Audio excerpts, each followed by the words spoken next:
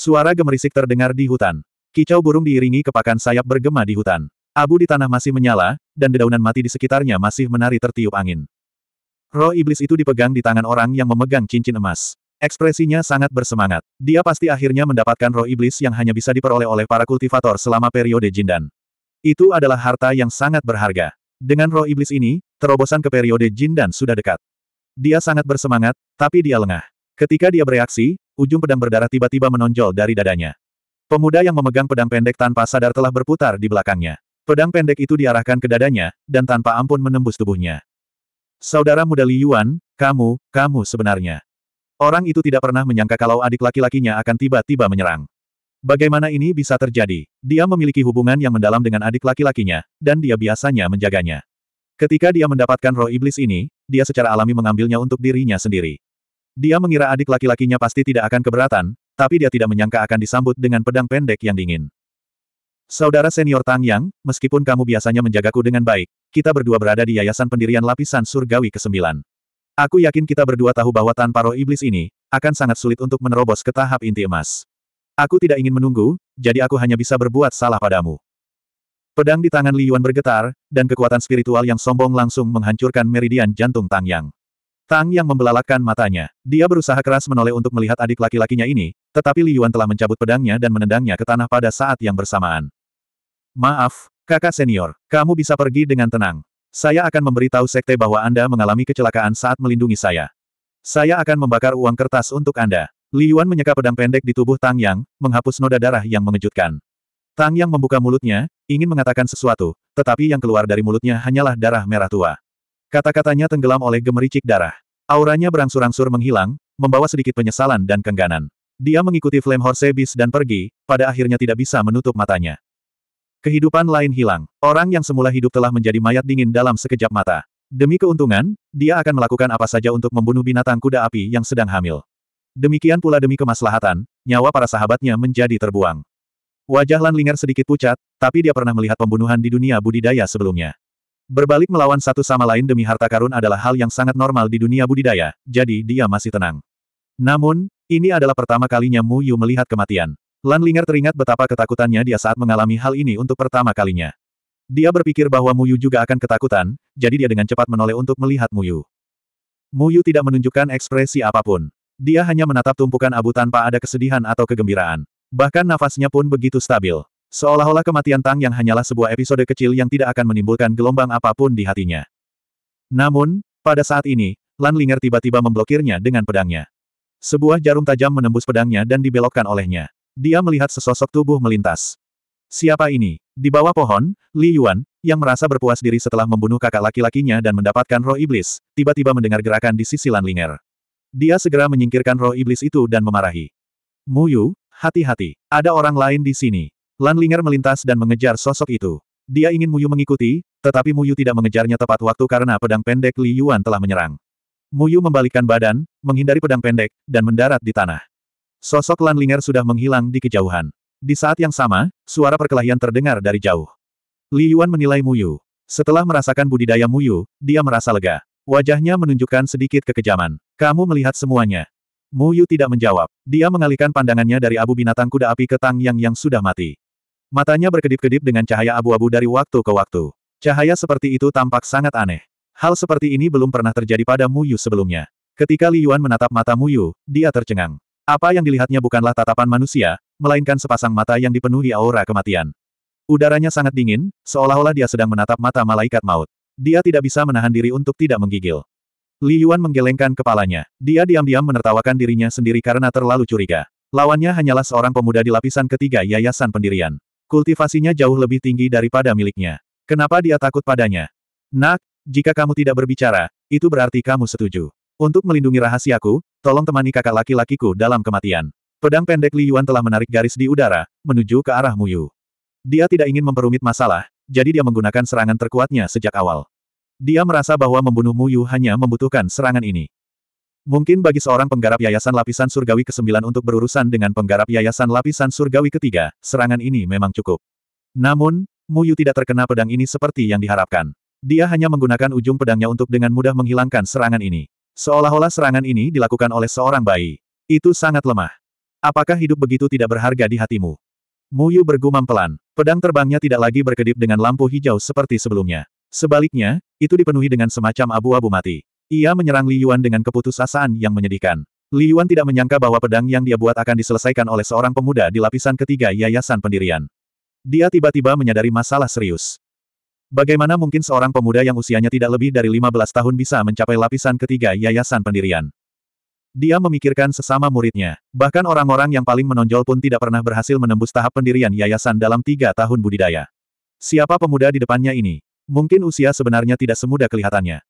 Dia tidak punya waktu untuk berpikir. Dia segera mengingat pedang pendeknya untuk menghadapi serangan itu. Cahaya pedang menyala di seluruh langit, menghancurkan pepohonan di sekitarnya. Daun-daun berguguran berputar-putar di udara dan berubah menjadi debu di pedang Ki yang kejam. Li Yuan melakukan serangan balik karena ketakutan. Dia terkejut saat mengetahui bahwa kekuatan pihak lain hanya pada lapisan ketiga dari yayasan pendirian. Dia sama sekali tidak berada di bawahnya. Tapi fluktuasi kekuatan spiritualnya jelas berada di lapisan ketiga dari yayasan pendirian. Segel pengusir Jiu Hua. Li Yuan berteriak. Pedang pendek di tangannya mengeluarkan bayangan pedang yang rumit, dengan cepat membentuk segel pentagonal merah di depannya.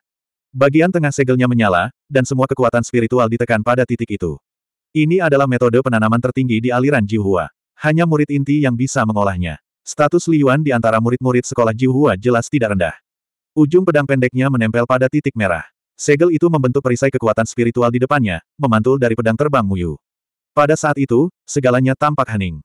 Hanya segelnya yang tersisa. Fluktuasi besar datang dari tengah segel. Dengan pedang pendek sebagai panduan, sinar cahaya keemasan meledak dan ditembakkan ke arah Muyu dengan kekuatan seribu kati.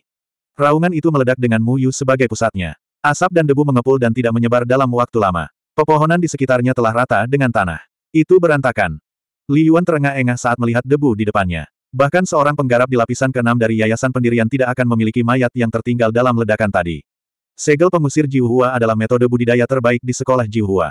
Itu sangat kuat dan hampir tak terkalahkan dalam pertarungan dengan seseorang dengan tingkat kultivasi yang sama. Sekolah Jiuhua berada di urutan kedua setelah sekolah King Song. Cara budidaya mereka bisa dikatakan yang terbaik. Namun, penggunaannya menghabiskan banyak kekuatan spiritual, belum lagi Li Yuan belum sepenuhnya menguasai metode kultivasi ini. Namun, dia sangat yakin bahwa dia bisa menggunakan langkah ini untuk menghapus Muyu sepenuhnya. 32. Asap dan debu menghilang. Pepohonan di depan telah hancur, tapi tidak ada tanda-tanda Muyu di tanah.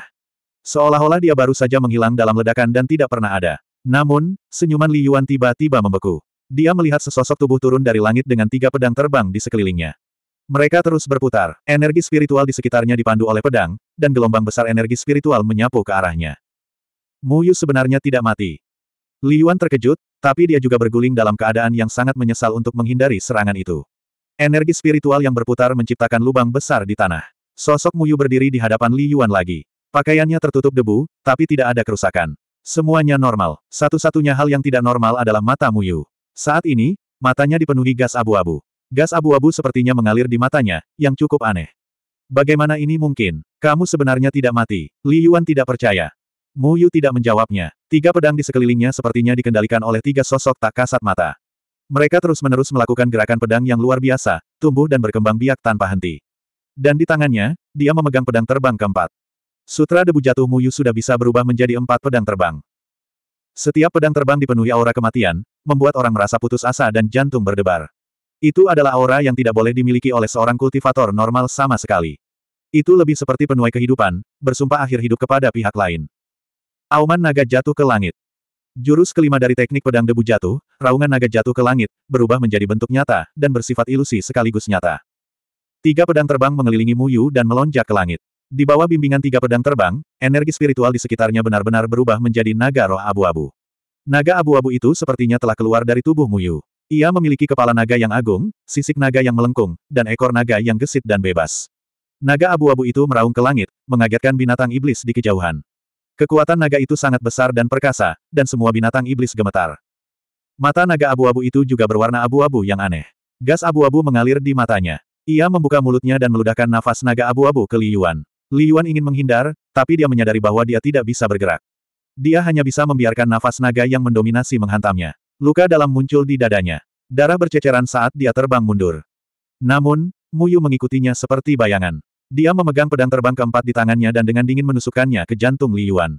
Kehidupan seakan menghilang di dalam tubuh seorang kultivator. Jika Anda tidak menghargai hidup, maka Anda tidak berhak menikmati hidup. Darah yang beterbangan membentuk lengkungan indah di udara dan memercik ke wajah Muyu. Darah merah menetes ke mata Muyu, dan darah panas menyebarkan asap abu-abu di mata Muyu. Jejak kejelasan tiba-tiba muncul di mata Muyu. Dia sedikit bingung, dia tidak tahu di mana dia berada, dia hanya tahu bahwa pedangnya akan menusuk hati seseorang dan merenggut nyawa orang tersebut. Apakah saya akan membunuh seseorang?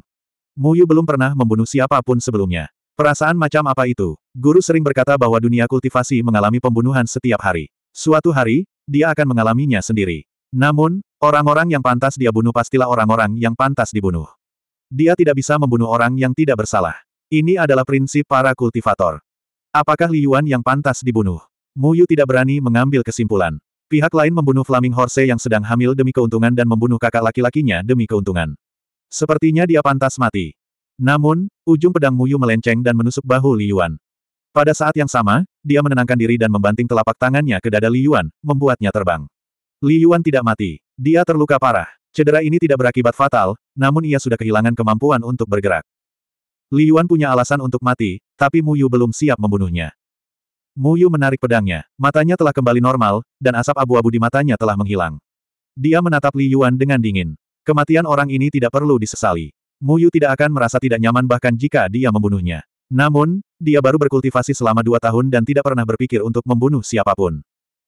Mungkin setelah membunuh seseorang sekali, dia tidak akan ragu untuk membunuh seseorang di lain waktu, bukan? Muyu menarik pedangnya dan berdiri dengan tenang. Dia tidak tahu apa yang baru saja terjadi padanya. Dia hanya tahu bahwa saat dia melihat Flaming Horse membakar diri, hatinya seakan tenggelam ke dasar lembah. Kemudian, orang lain sepertinya muncul di benaknya. Sebuah suara terus bergema di benaknya, ingin mengambil nyawa Li Yuan. Dengan demikian, Nalurinya mendorongnya dan dia melepaskan kultivasinya secara ekstrim. Jika setetes darah Li Yuan tidak membangunkannya tepat waktu, Li Yuan pasti sudah menjadi mayat sekarang. Bayangan ungu melintas di langit di atas hutan dan mendarat dengan gesit di tanah. Seorang pria berbaju ungu muncul di samping Li Yuan. Pria berbaju ungu ini tampaknya seumuran dengan Li Yuan dan yang lainnya. Dia mengerutkan kening dan menundukkan kepalanya untuk memeriksa luka Li Yuan. Kemudian, dia berjalan mendekat dan menutup mata lebar Tang Yang. Lalu, dia menatap Muyu. Apakah kamu yang membunuh adik laki-lakiku dan melukai adik laki-lakiku yang lain? Pria berbaju ungu menanyai Muyu. Pembunuhan itu tidak ada hubungannya denganku. Aku melukainya untuk membela diri. Muyu memandang pria berbaju ungu yang tidak diketahui asal-usulnya. Budidaya pihak lain juga berada di tingkat kesembilan dari alam pendirian yayasan, tetapi tampaknya lebih mendalam daripada milik Li Yuan. Jika mereka bertarung, Muyu tidak tahu berapa banyak ruang yang dia miliki untuk melawan. Bagaimanapun, dia telah melalui dua pertempuran hari ini. Dia tidak memiliki banyak kekuatan spiritual yang tersisa. Meski terlihat bersemangat, sebenarnya dia kelelahan. Lalu, siapa yang membunuh kakak muda Tang Yang? Pria berbaju ungu itu melanjutkan. Jangan bilang kamu tidak bisa melihat kedua adik laki-lakimu saling membunuh.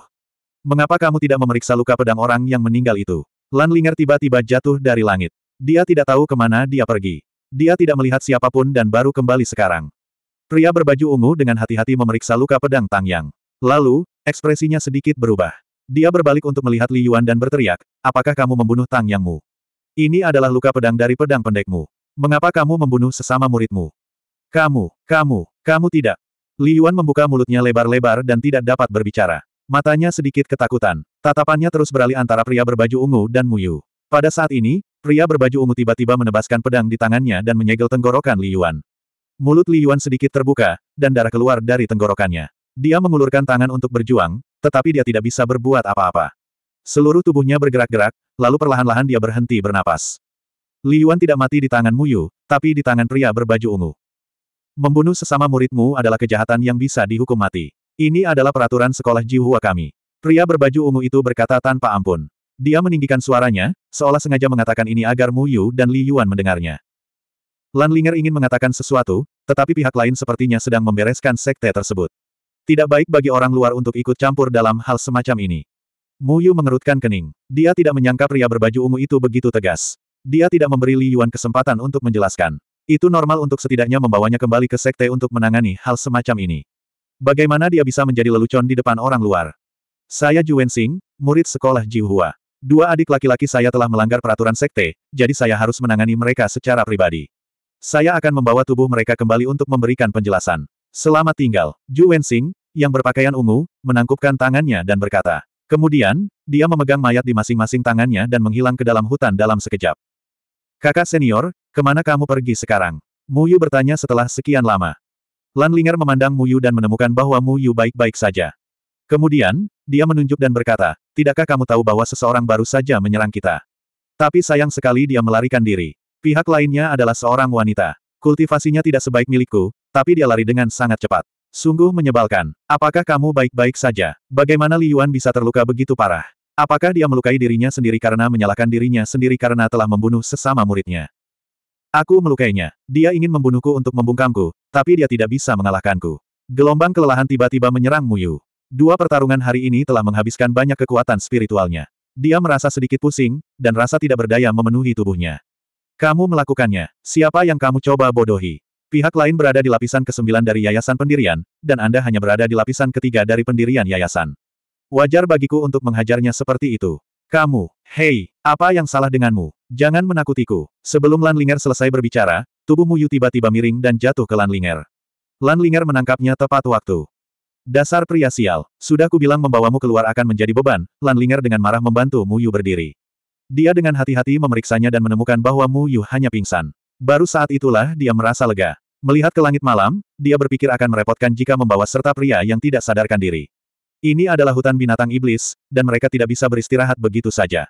Dia berpikir sejenak, lalu menggunakan pedang terbangnya dan terbang ke langit bersama Muyu. Saudaraku, apakah kamu mendapatkan roh iblis? Di satu sisi hutan binatang iblis, seorang wanita berpakaian ungu berada di samping Ju Wensing.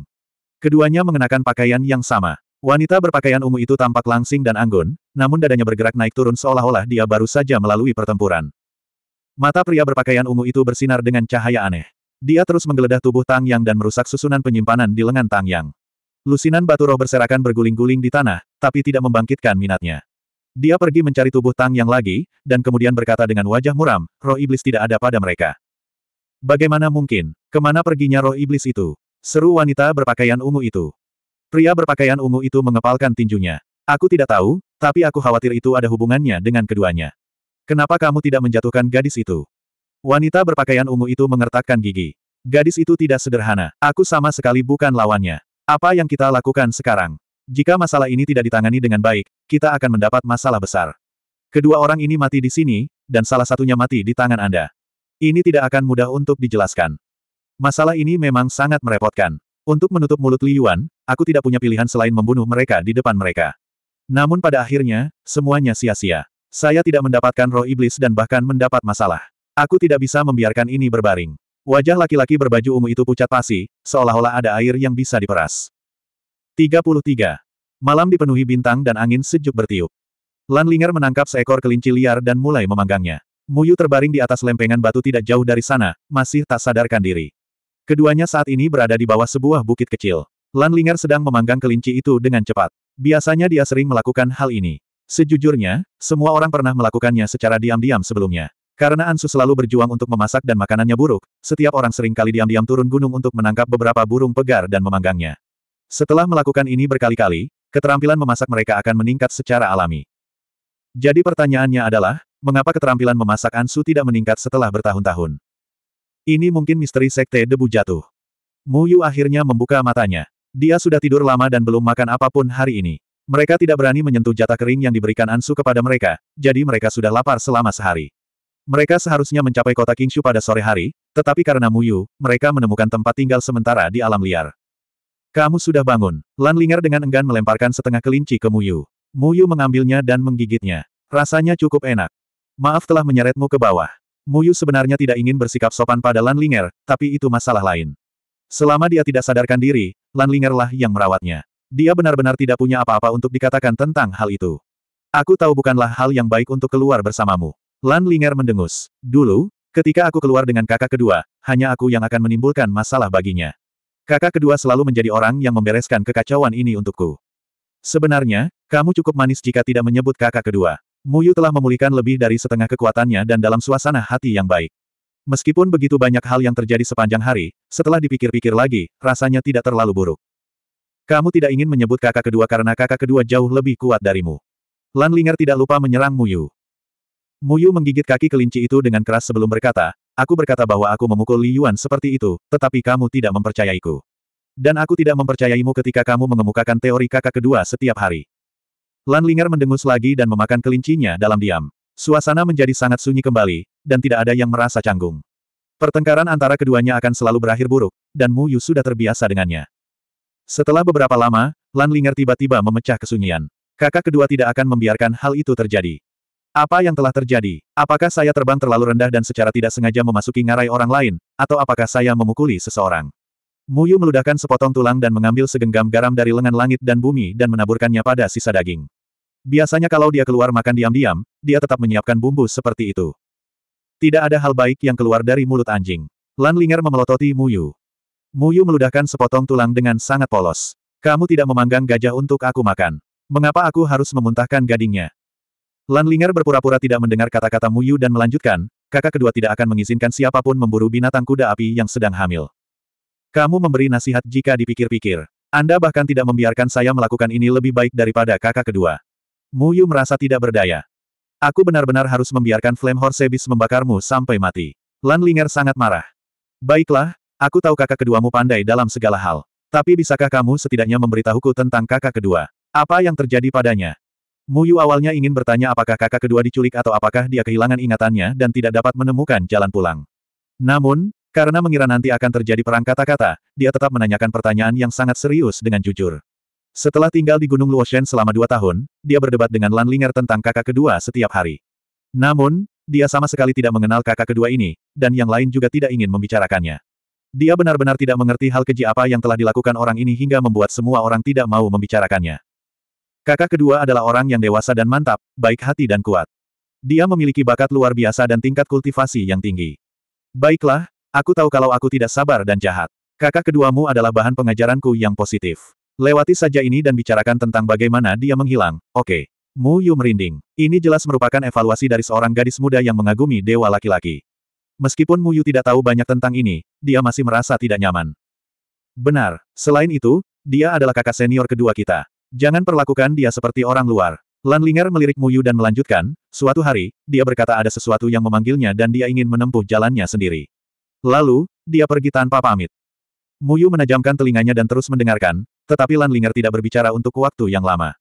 Muyu bertanya dengan heran, itu saja.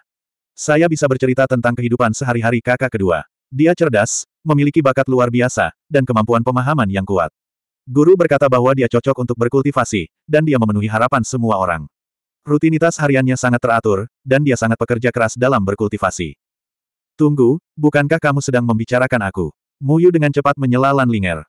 Kamu sebodoh babi. Bagaimana kamu bisa dibandingkan dengan kakak kedua? Lan Linger berkata dengan tidak senang. Muyu menyentuh hidungnya. Dia baru berkultivasi selama dua tahun, jadi wajar jika dia tidak bisa dibandingkan dengan kakak kedua. Dia mengerutkan bibirnya dan tidak mengindahkan kata-kata Lan Linger. Oh iya, ini untukmu. Muyu mengeluarkan benda emas dari dadanya. Itu adalah roh iblis dari binatang kuda api. Kenapa benda ini ada padamu? Mata Lan Linger membelalak. Roh iblis sangatlah berharga. Energi spiritual yang tersimpan di dalamnya dapat langsung diserap oleh para pembudidaya untuk digunakan sendiri. Itu juga bisa digunakan sebagai bahan untuk peralatan pemurnian. Meskipun mereka tidak bisa menggunakannya sama sekali untuk peralatan pemurnian, karena harta magis mereka sudah luar biasa. Tidak berlebihan jika menjual roh iblis seharga 10.000 batu roh di pasar. Hanya para penggarap pada zaman Jindan yang dapat memperoleh roh iblis, tetapi bagaimana para penggarap pada zaman Jindan dapat dengan santai mengeluarkan roh iblis untuk dijual? Aku bilang aku memukuli Li Yuan seperti itu, tapi kamu tidak percaya padaku. Kalau begitu, anggap saja aku yang mengambilnya. Tentu saja, roh iblis ini tidak ditangkap oleh Muyu. Saat Muyu muncul, Li Yuan dengan rasa bersalah memasukkannya ke dadanya. Ketika Muyu mengirim Li Yuan terbang dengan telapak tangan, roh iblis itu terlempar keluar dari dadanya. Muyu menangkapnya dan menyimpannya. Pada saat itu, semuanya terjadi begitu cepat bahkan pria berjubah ungu pun tidak menyadarinya. Benda ini menolak lengan langit dan bumi, jadi aku tidak bisa menyimpannya. Aku hanya bisa menaruhnya di pakaianku. Mu Yu tahu hal ini. Gurunya pernah memberitahunya bahwa roh iblis memiliki spiritualitasnya sendiri. Mereka tidak akan terjebak oleh arai. Namun, Universe in the Sleeve adalah ruang yang bisa dibuka di dalam lengan seseorang menggunakan arai. Oleh karena itu, Universe in the Sleeve tidak dapat menyimpan roh iblis. Kamu bisa menyimpan benda ini. Ini akan sangat membantu untuk menerobos periode Jindan di masa depan. Lan Linger melambaikan tangannya. Dia tidak tergoda oleh roh iblis. Bahkan jika roh iblis ini ditempatkan di dunia budidaya, itu akan menyebabkan perkelahian besar. Benda ini terlalu berharga. Muyu menggelengkan kepalanya. Jika itu adalah roh iblis lain, aku mungkin akan mempertimbangkannya. Tapi roh iblis ini berasal dari binatang kuda api. Ia membawa seorang ibu dan kehidupan yang belum lahir. Rasanya berat.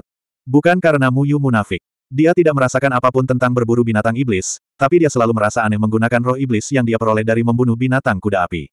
Hatinya tidak bisa tenang. Semua yang dia lakukan hari ini adalah karena ibu dan anak Flame Horse Beast. Jika dia merebut roh iblis itu dan mengambilnya untuk dirinya sendiri, bukankah itu terlalu konyol? Apa perbedaan antara ini dan secara tidak langsung membunuh ibu dan anak Flame Horse Beast? Kalau begitu ayo kita kubur. Anggap saja sebagai penjelasan untuk ibu dan anak Flame Horse Beast. Lan Linger juga merasa sangat canggung. Biasanya, jika dia diminta untuk membunuh binatang iblis, dia tidak akan berbelas kasihan.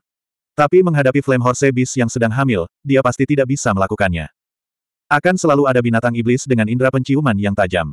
Jika kita tidak menguburnya cukup dalam, ia akan hancur. Mari kita kembali dan melihat bagaimana guru akan menghadapinya. Muyu mengembalikan roh iblis itu ke dalam pelukannya.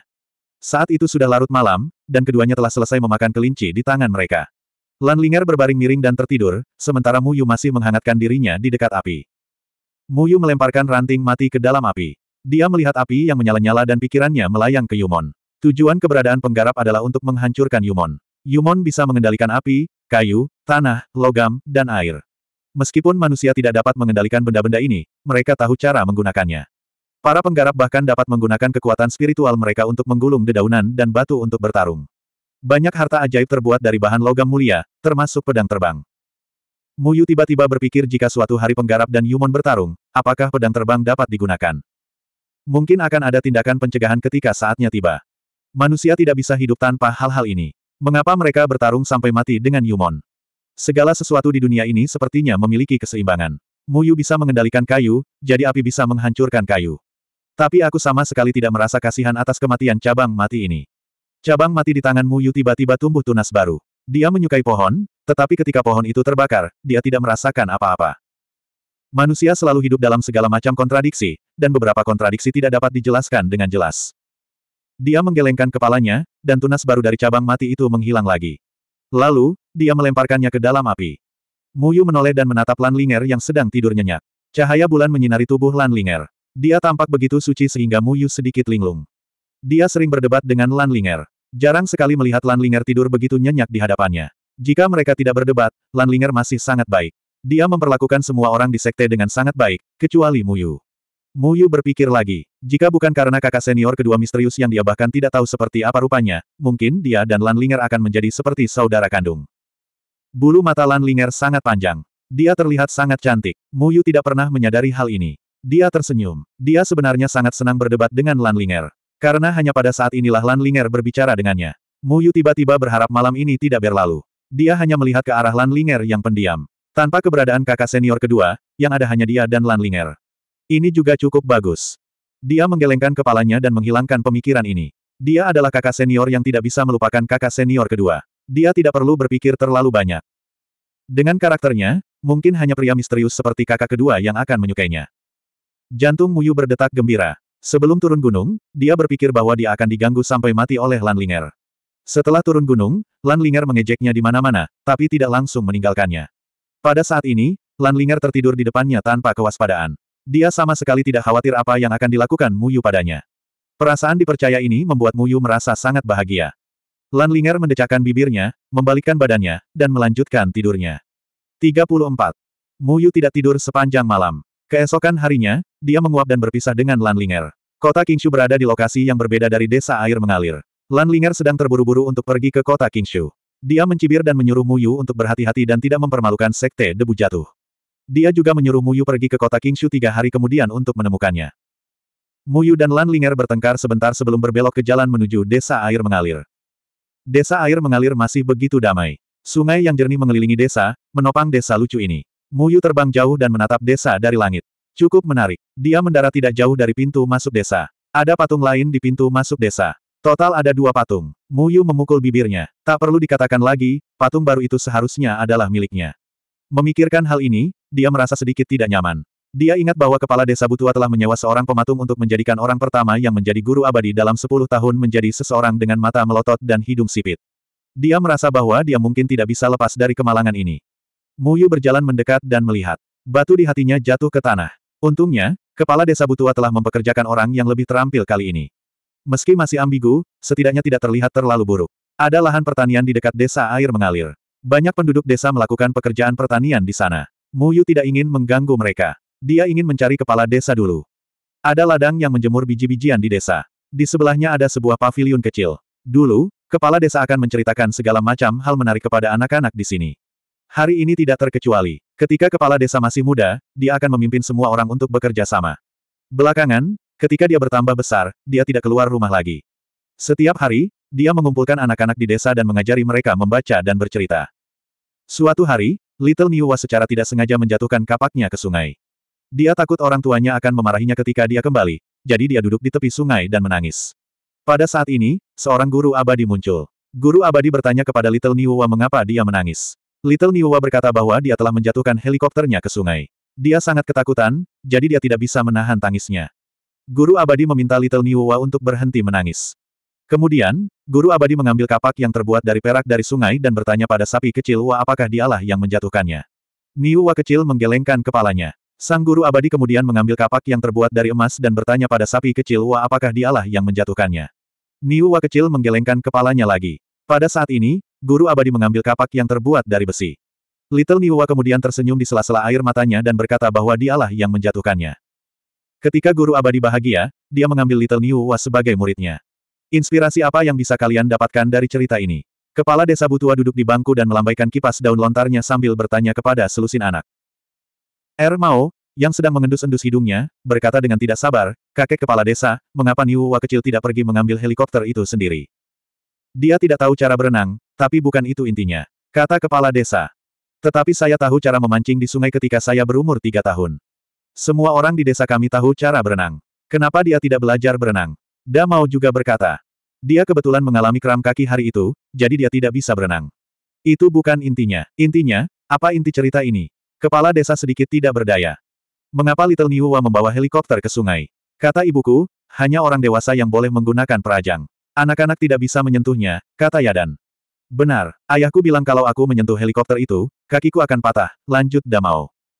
Kepala desa berkata dengan pusing, Niuwa kecil sudah dewasa sekarang. Dia bisa menggunakan helikopter. Dia sudah dewasa, tapi dia masih menangis. Sungguh memalukan. Hua-hua mengulurkan jari telunjuknya dan menggambar garis di wajahnya.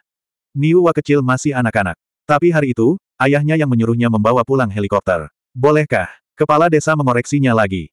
Kakek kepala desa, helikopter yang terbuat dari emas itu seperti apa? Yadan berkedip dan bertanya. Kepala desa mengelus janggutnya dan berkata, saya, saya tidak tahu.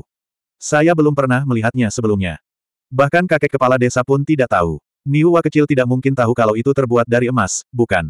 Saya pikir jika dia tahu bahwa helikopter itu terbuat dari emas, Little Niwa pasti akan mengatakan bahwa dia kehilangannya. Gou Seng mengangkat tangannya dan berkata. Benar, benar, dia bahkan tidak menginginkan emas. Bodoh sekali, kata Ermau dengan nada meremehkan. Kakek kepala desa, apakah kamu akan menceritakan kepada kami sebuah cerita tentang orang idiot? Setelah Damau selesai berbicara, semua orang tertawa.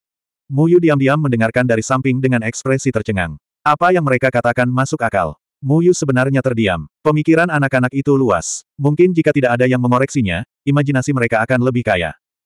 Berhenti tertawa, berhenti tertawa, kata kepala desa dengan gemas. Kepala desa berkata dengan marah, kisah ini memberitahu kita bahwa kita harus jujur. Hanya dengan bersikap jujur, orang lain akan menganggapmu tinggi. Hanya dengan jujur, guru abadi akan menyukaimu dan menerimamu sebagai muridnya. Lakukan kamu mengerti. Kakek kepala desa, saya punya pertanyaan. Umur panjang kecil perlahan mengangkat tangannya. Chang Sheng, apakah ada yang tidak kamu mengerti? Kepala desa mengetahui bahwa umur panjang relatif lambat. Seringkali, dia perlu berpikir lama untuk memahami sesuatu. Oleh karena itu, dia dengan sabar menunggu Little Chang Sheng melanjutkan. Si kecil panjang umur perlahan berkata, mengapa sapi kecil tidak mengambil sendiri helikopternya? Apakah dia tidak tahu cara berenang? Kepala desa memutar matanya. Baiklah, semuanya kembali ke titik awal lagi. Muyu diam-diam melihat ekspresi tak berdaya kepala desa dan tidak bisa menahan senyum. Kepala desa tidak banyak berubah dalam dua tahun terakhir, tetapi Muyu telah tumbuh lebih tinggi dan banyak berubah. Dia tidak tahu apakah kepala desa masih bisa menolaknya nanti. Biar ku beritahu padamu, desa kami telah menghasilkan dua guru abadi dalam sepuluh tahun terakhir. Dua tahun lalu, Muyu sangat cakap dan dipilih oleh sekte besar. Sekarang, dia sudah menjadi makhluk abadi yang menakjubkan. Kalian juga punya untuk bekerja keras dan berjuang demi hari di mana kalian semua juga bisa menjadi guru abadi. Agar tidak selalu ditertawakan oleh desa lain. Desa besar itu memiliki dua tuan abadi tahun ini. Perbandingan itu menjijikkan. Kepala desa mulai menghela nafas lagi. Muyu tahu bahwa dalam dua tahun terakhir, tidak ada anak di desa yang memiliki bakat dalam berkultivasi. Tak heran jika kepala desa begitu tertekan dan malu setiap kali keluar. Muyu tidak tahu apa yang akan terjadi jika dia tidak bertemu tuannya. Dia takut dia masih menjadi murid pelayan abu-abu di akademi, menunggu untuk dipilih oleh sebuah sekte. Terkadang, kultivasi juga bergantung pada takdir. Jika bukan takdir, Muyu tidak akan bertemu tuannya. Kakek kepala desa, ceritakan lebih banyak tentang kakak Muyu. Orang seperti apa biasanya kakak Muyu? Mungkin kita bisa belajar dari perilakunya dan menjadi tuan abadi. Teriak Yadan. Kepala desa melambaikan tangannya. Tuan abadi tidak bisa dibicarakan dengan santai. Mereka bisa merasakannya. Jika kamu menjelek-jelekkan dia, dia akan mendengarnya.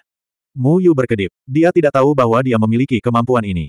Jelas sekali, di mata orang biasa, Tuan Abadi terlalu didewakan.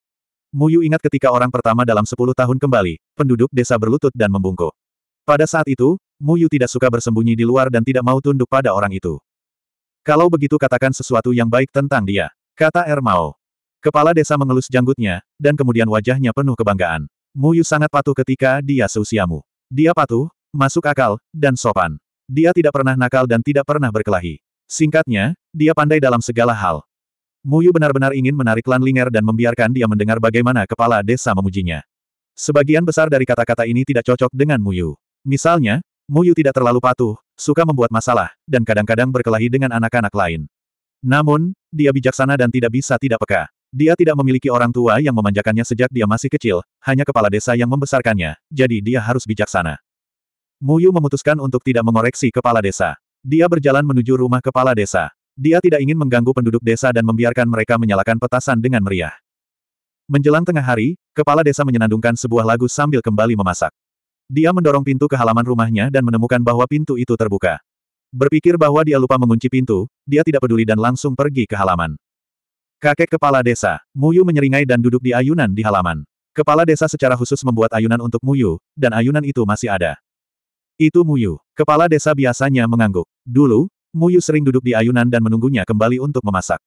Sejenak kepala desa mengira dirinya telah kembali ke beberapa tahun yang lalu.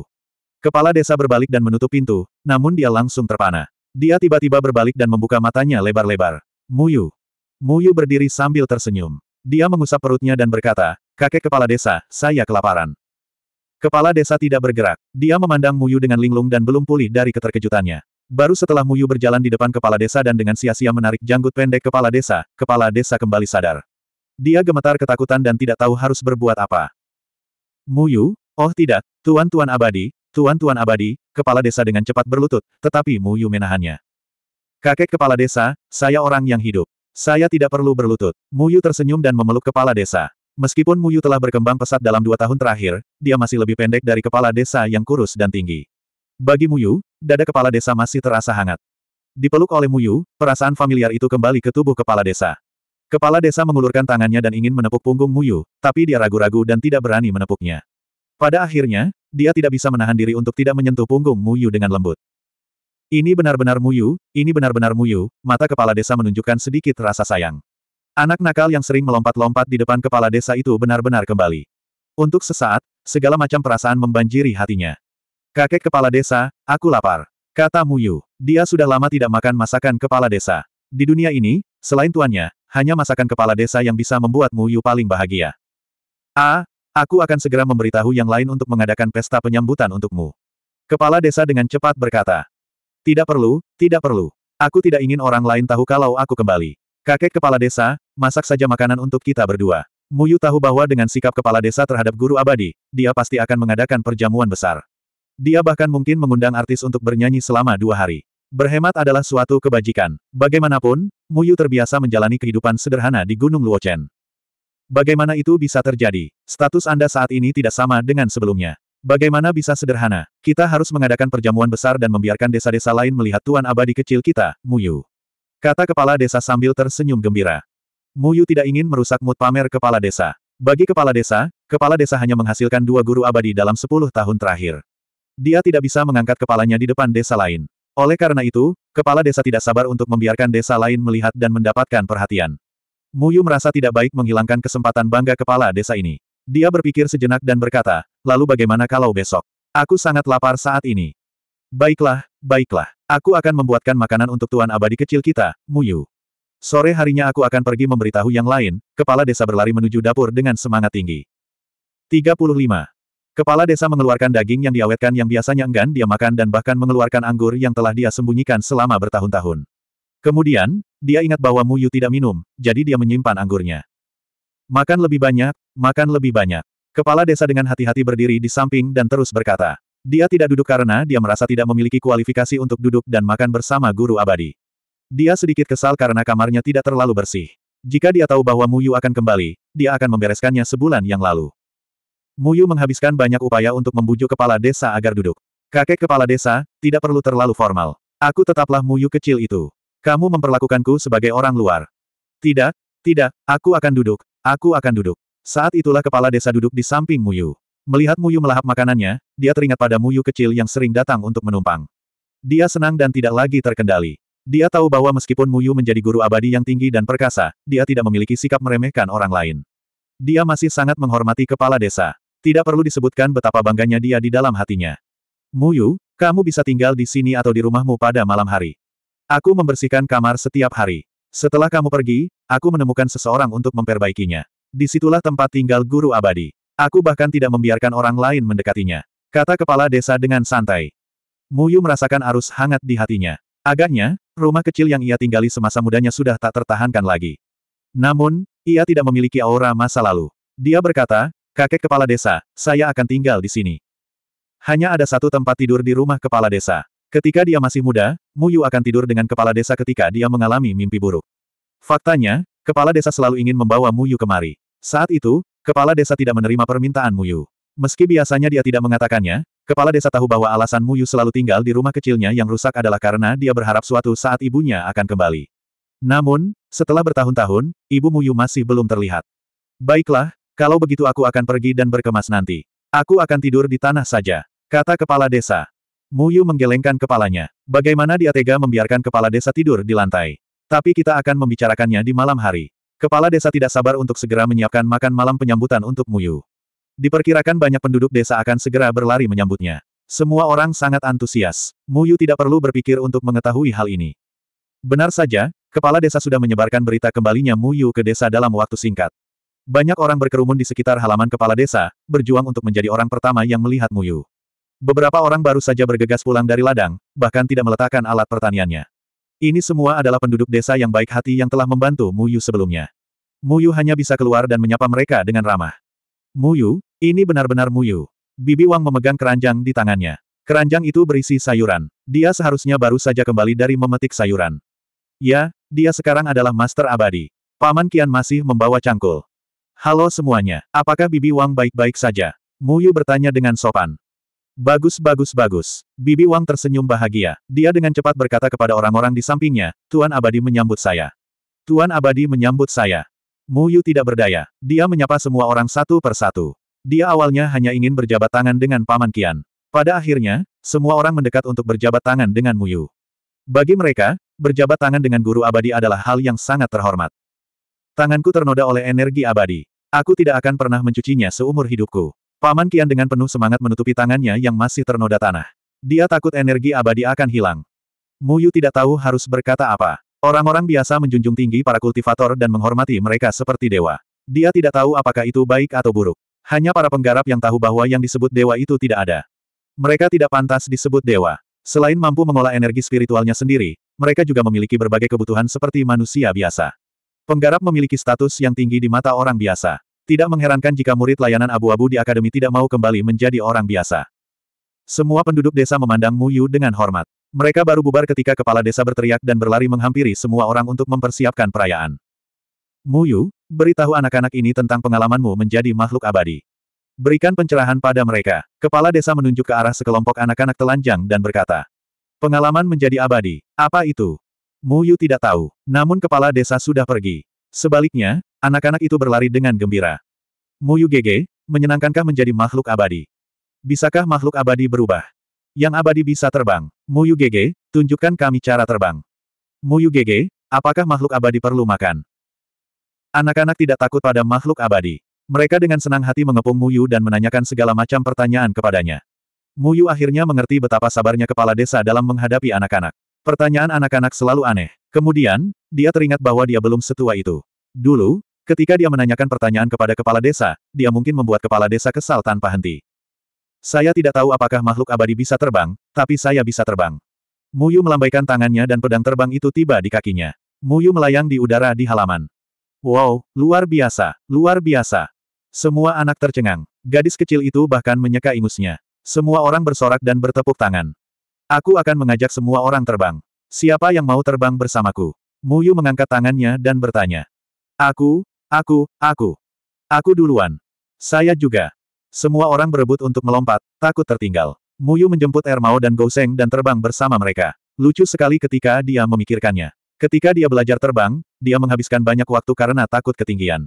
Dia diejek oleh Lan Linger untuk waktu yang lama. Sekarang, dia harus terbang bersama sekelompok anak-anak. Muyu merasa cukup menyenangkan terbang bersama anak-anak. Dia baru berusia 14 tahun. Anak-anak seusianya di desa sudah lama mengikuti orang tuanya bekerja di ladang. Mereka tidak bermain-main, jadi Muyu adalah yang tertua di sini. Muyu tidak asing lagi berurusan dengan anak-anak. Bagaimanapun, ada sepasang saudara kembar yang aneh di Gunung Luoshan. Betapapun nakalnya anak-anak ini, mereka tidak bisa dibandingkan dengan kedua orang itu. Sepanjang sore, Muyu terbang bersama anak-anak. Dia membawa Gouseng ke dahan untuk memancing telur burung. Dia membawa si kecil panjang umur, yang kencing di celana, ke sungai untuk mandi. Dia juga membawa semua orang ke sebuah bukit kecil di belakang desa yang tak seorang pun berani pergi. Ternyata di sana ada sarang lebah. Desa itu sangat ramai. Setiap keluarga menyembeli ayam dan sapi, dan pada saat yang sama menggantungkan lentera merah. Pada saat yang sama, petasan berbunyi. Itu sangat meriah. Mereka tidak bertemu kepala desa sepanjang sore itu. Mereka tidak tahu apa yang sedang disibukkan oleh kepala desa. Muyu berbaring di tumpukan jerami di ladang gandum desa dan menceritakan kepada semua orang tentang kehidupannya sebagai seorang petani. Meskipun uraiannya tampak sederhana, bagaimana mungkin kata-kata seorang guru abadi bisa menjadi hal yang biasa bagi anak-anak? Setiap anak mendengarkan dengan sangat serius. Kadang-kadang, orang dewasa lewat dan diam-diam mendengarkan sebentar. Jelas sekali, semua orang sangat penasaran dengan kehidupan abadi. Tidak bagus, tidak bagus. Tuan Abadi Muyu, sesuatu telah terjadi, sesuatu telah terjadi. Di kejauhan, Zhang Tua, yang mencari nafkah dengan berburu, berlari dengan panik. Dahinya memar, bibirnya patah, dan ada goresan di wajahnya. Tangan kirinya miring ke samping, tampak seperti patah. Apa yang terjadi, Paman Zhang? Muyu memandang Zhang Tua dan tidak mengerti mengapa Zhang Tua berada dalam kondisi seperti itu. Kepala desa, sesuatu terjadi pada kepala desa. Zhang Tua berkata sambil terengah-engah. Kakek kepala desa, apa yang terjadi padanya? Hati Muyu menegang saat perasaan tidak menyenangkan muncul di hatinya. Zhang Tua berkata, Baru saja, kepala desa meminta saya untuk menemaninya ke desa Big Dot untuk membeli arak beras dan lilin merah. Namun, saya tidak menyangka desa Big Dot juga akan dihiasi dengan lentera dan spanduk berwarna untuk sambut Tuan Abadi. Kepala desa harimau besar itu menghinamu, jadi kepala desa berdebat dengannya. Pada akhirnya, dia digantung oleh Tuan Abadi itu. Mereka memintaku untuk kembali dan... 36. Desa Dadian adalah desa terkenal di dekatnya. Setiap tahun, setidaknya ada dua anak yang bisa bercocok tanam, yang membuat desa lain sangat iri. Belum lagi, putra kepala desa Dadian, Dahu, diterima sebagai murid oleh Sekolah Kingsong, sekte nomor satu di dunia budidaya, dua tahun lalu. Bakatnya yang luar biasa tersebar ke telinga manusia, yang membuat Dahu pamer di depan kepala desa lainnya. Semua orang berbicara kepadanya dengan hormat. Pada hari ini, bukan putra Dahu, Xiao Hu, yang kembali ke desa. Sebaliknya, Sayan, murid sekolah Jiuhua lainnya, yang kembali ke rumah untuk mengunjungi keluarganya. Sekolah Jiuhua berada di urutan kedua setelah sekolah Kingsong. Mu Yu bahkan bertarung dengan Li Yuan dari sekolah Jiuhua kemarin.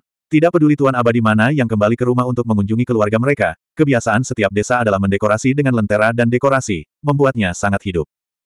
Ketika kepala desa Butua dan Zhang Tua pergi ke desa Dadian untuk membeli arak beras, mereka tiba-tiba bertemu dengan Dahu.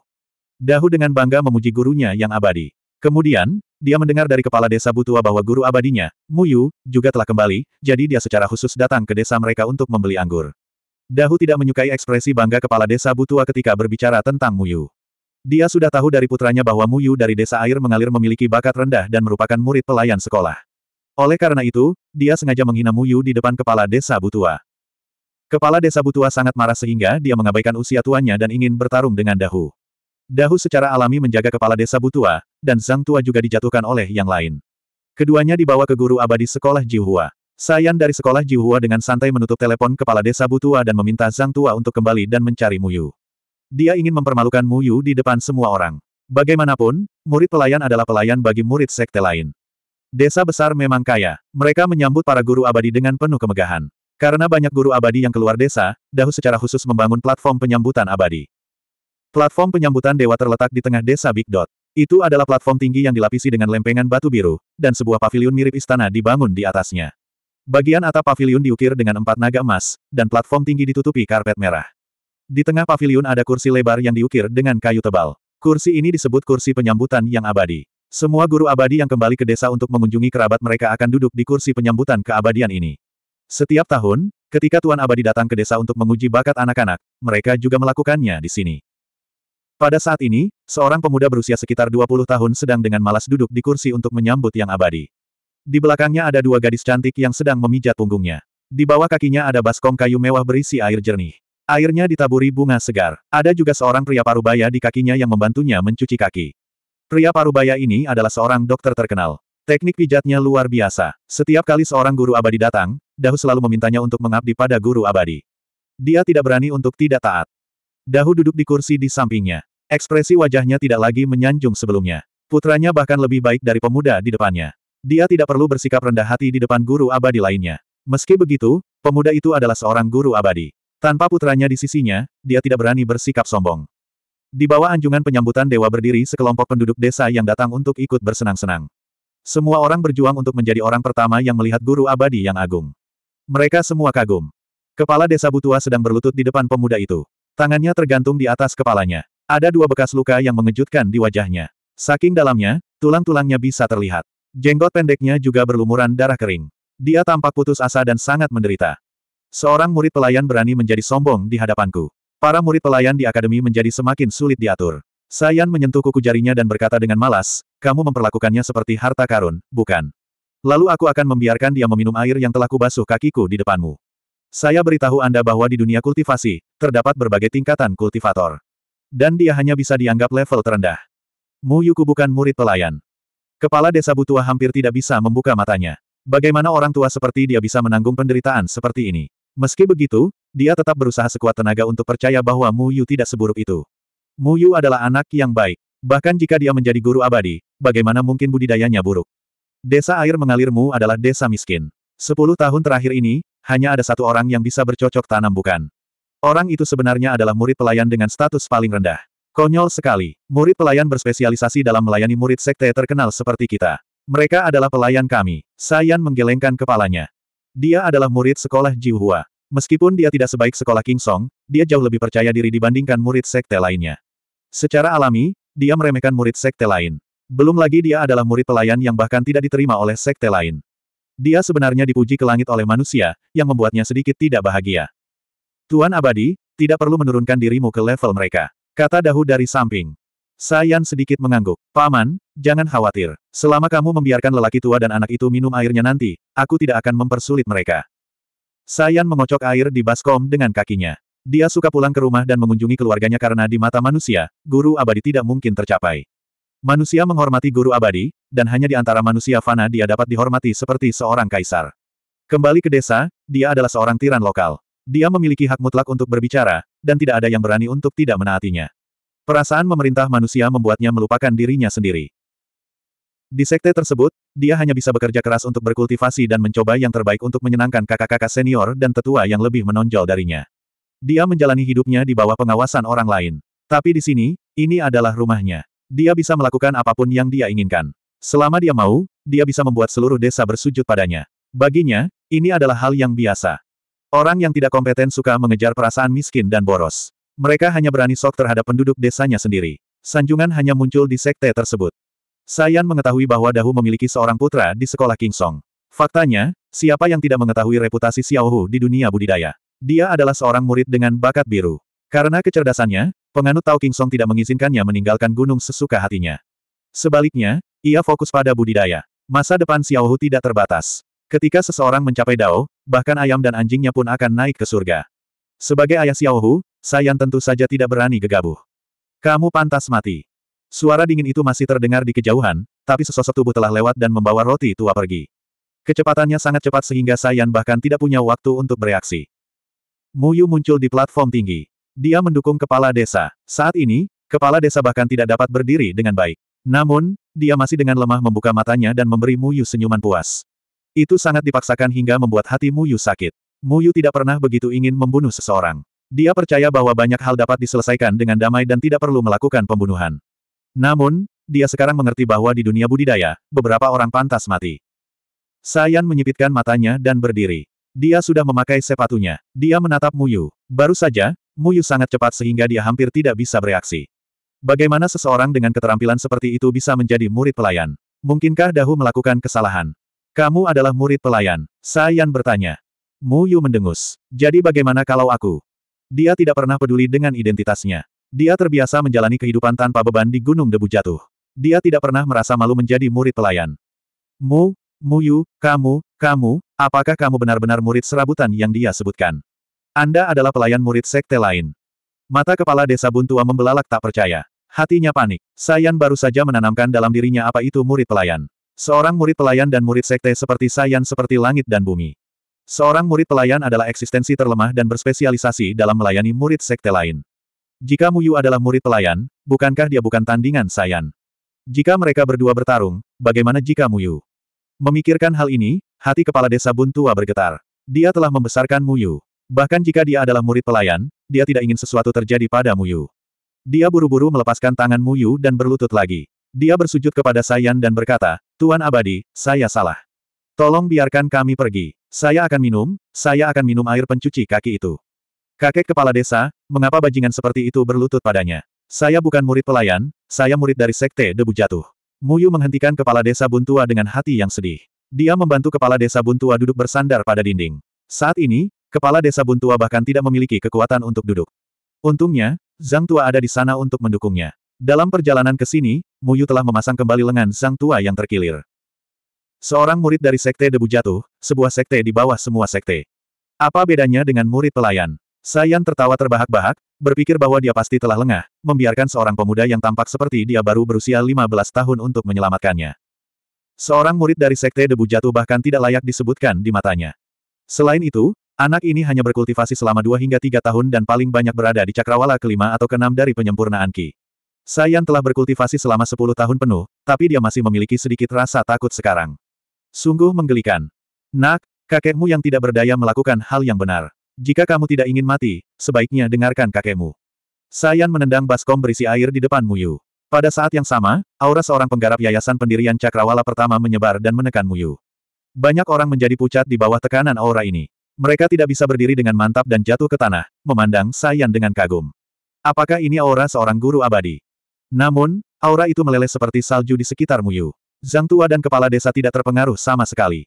Apakah begitu? Cahaya abu-abu muncul di mata Muyu. Cahaya itu membuat kesadarannya menjadi haus darah. Dia ingin membunuh dan menggunakan darah sebagai korban. Di matanya, Sayan pantas mati. Muyu, jangan bertengkar dengan orang lain demi orang tua sepertiku. Kepala desa Butua menarik celana Muyu. Kata-kata kepala desa Butua mengalir ke telinga Muyu seperti aliran yang jernih. Cahaya abu-abu di mata Muyu berangsur-angsur menghilang. Dia mendapati dirinya dalam keadaan yang aneh lagi. Untungnya, perkataan kepala desa membangunkannya. Keadaan itu membuatnya haus darah. Dia hampir membunuh Li Yuan kemarin. Dia tidak menyukai perasaan itu. Dia menepuk bahu kepala desa dan berkata, kakek kepala desa, jangan khawatir. Sekarang giliranku untuk melindungimu. Suatu ketika, setiap kali dia bertengkar dengan anak-anak lain di desa ketika dia masih kecil, kepala desa akan memihaknya baik sengaja maupun tidak. Ia tidak memiliki orang tua, sehingga penduduk desa sering menggosipkannya. Namun, mereka semua dimarahi oleh kepala desa. Setelah itu, tidak ada lagi yang membicarakan Muyu. Bahkan ketika dia membawa Muyu ke sekolah dan bertemu beruang grizzly besar, kepala desa mengorbankan dirinya untuk menghentikannya. Setiap saat, kepala desalah yang melindunginya. Hari ini, dia kembali sebagai guru abadi. Kepala desa tidak ingin terluka parah untuk menyambutnya. Dia bahkan khawatir Muyu tidak akan mampu mengalahkan Sayan dan akan berlutut memohon belas kasihan. Anak ayam yang perlu dilindungi ke mana-mana sudah tumbuh sayap. Sayapnya yang lebar sudah mampu melindungi kepala desa dari angin dan hujan. Jika ada yang berani menindas orang yang paling disayangi Muyu, maka Muyu pasti tidak akan melepaskannya. Anak ayam itu sudah dewasa. Sekarang, giliranku untuk melindungimu. Energi roh yang lebih lembut melanda semua orang.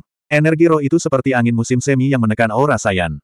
Semua orang terkejut saat mengetahui bahwa mereka bisa bergerak. Aura ini begitu harmonis seperti vitalitas yang tiada habisnya. Itu memabukkan. 37. Tidak mungkin tidak mungkin. Anda pasti menggertak. Sayan tidak percaya bahwa budidaya Muyu lebih tinggi dari miliknya. Bagaimana ini mungkin? Bagaimana seseorang bisa mencapai yayasan lapisan ketiga dalam dua tahun? Dia telah berkultivasi dalam pengasingan selama 10 tahun dan merupakan salah satu murid paling berbakat di sekte tersebut. Selama ujian akademi, dia dipilih oleh sekte Jihua karena bakat kuningnya. Namun, murid pelayan dengan bakat abu-abu ini sudah berada di yayasan pendirian tingkat ketiga. Kamu pasti menggunakan semacam tipuan untuk menipuku. Kamu terlalu tidak berpengalaman. Sayan mencoba yang terbaik untuk tetap tenang. Dia mengayunkan pedang putihnya dan energi pedang yang mendominasi menyapu. Kamu terlalu lemah dibandingkan dengan Li Yuan. Muyu membalik telapak tangannya, dan pedang bayangan berputar untuk menghadapi serangan Sayan. Tanpa gerakan mewah apa pun, pedang bayangan langsung bertabrakan dengan pedang Sayan. Pedang terbang Sayan dengan cepat dikalahkan, tapi pedang bayangan Muyu tidak kehilangan momentumnya dan terus menusuk ke arah Sayan. Perisai Jiwuaki. Tangan Sayan menari dan kekuatan roh berkumpul di depan dadanya. Jari-jarinya bergerak dan perisai merah terbentuk di depannya. Kekuatan roh yang melonjak melintas di dalam perisai dan memblokir pedang terbang Muyu.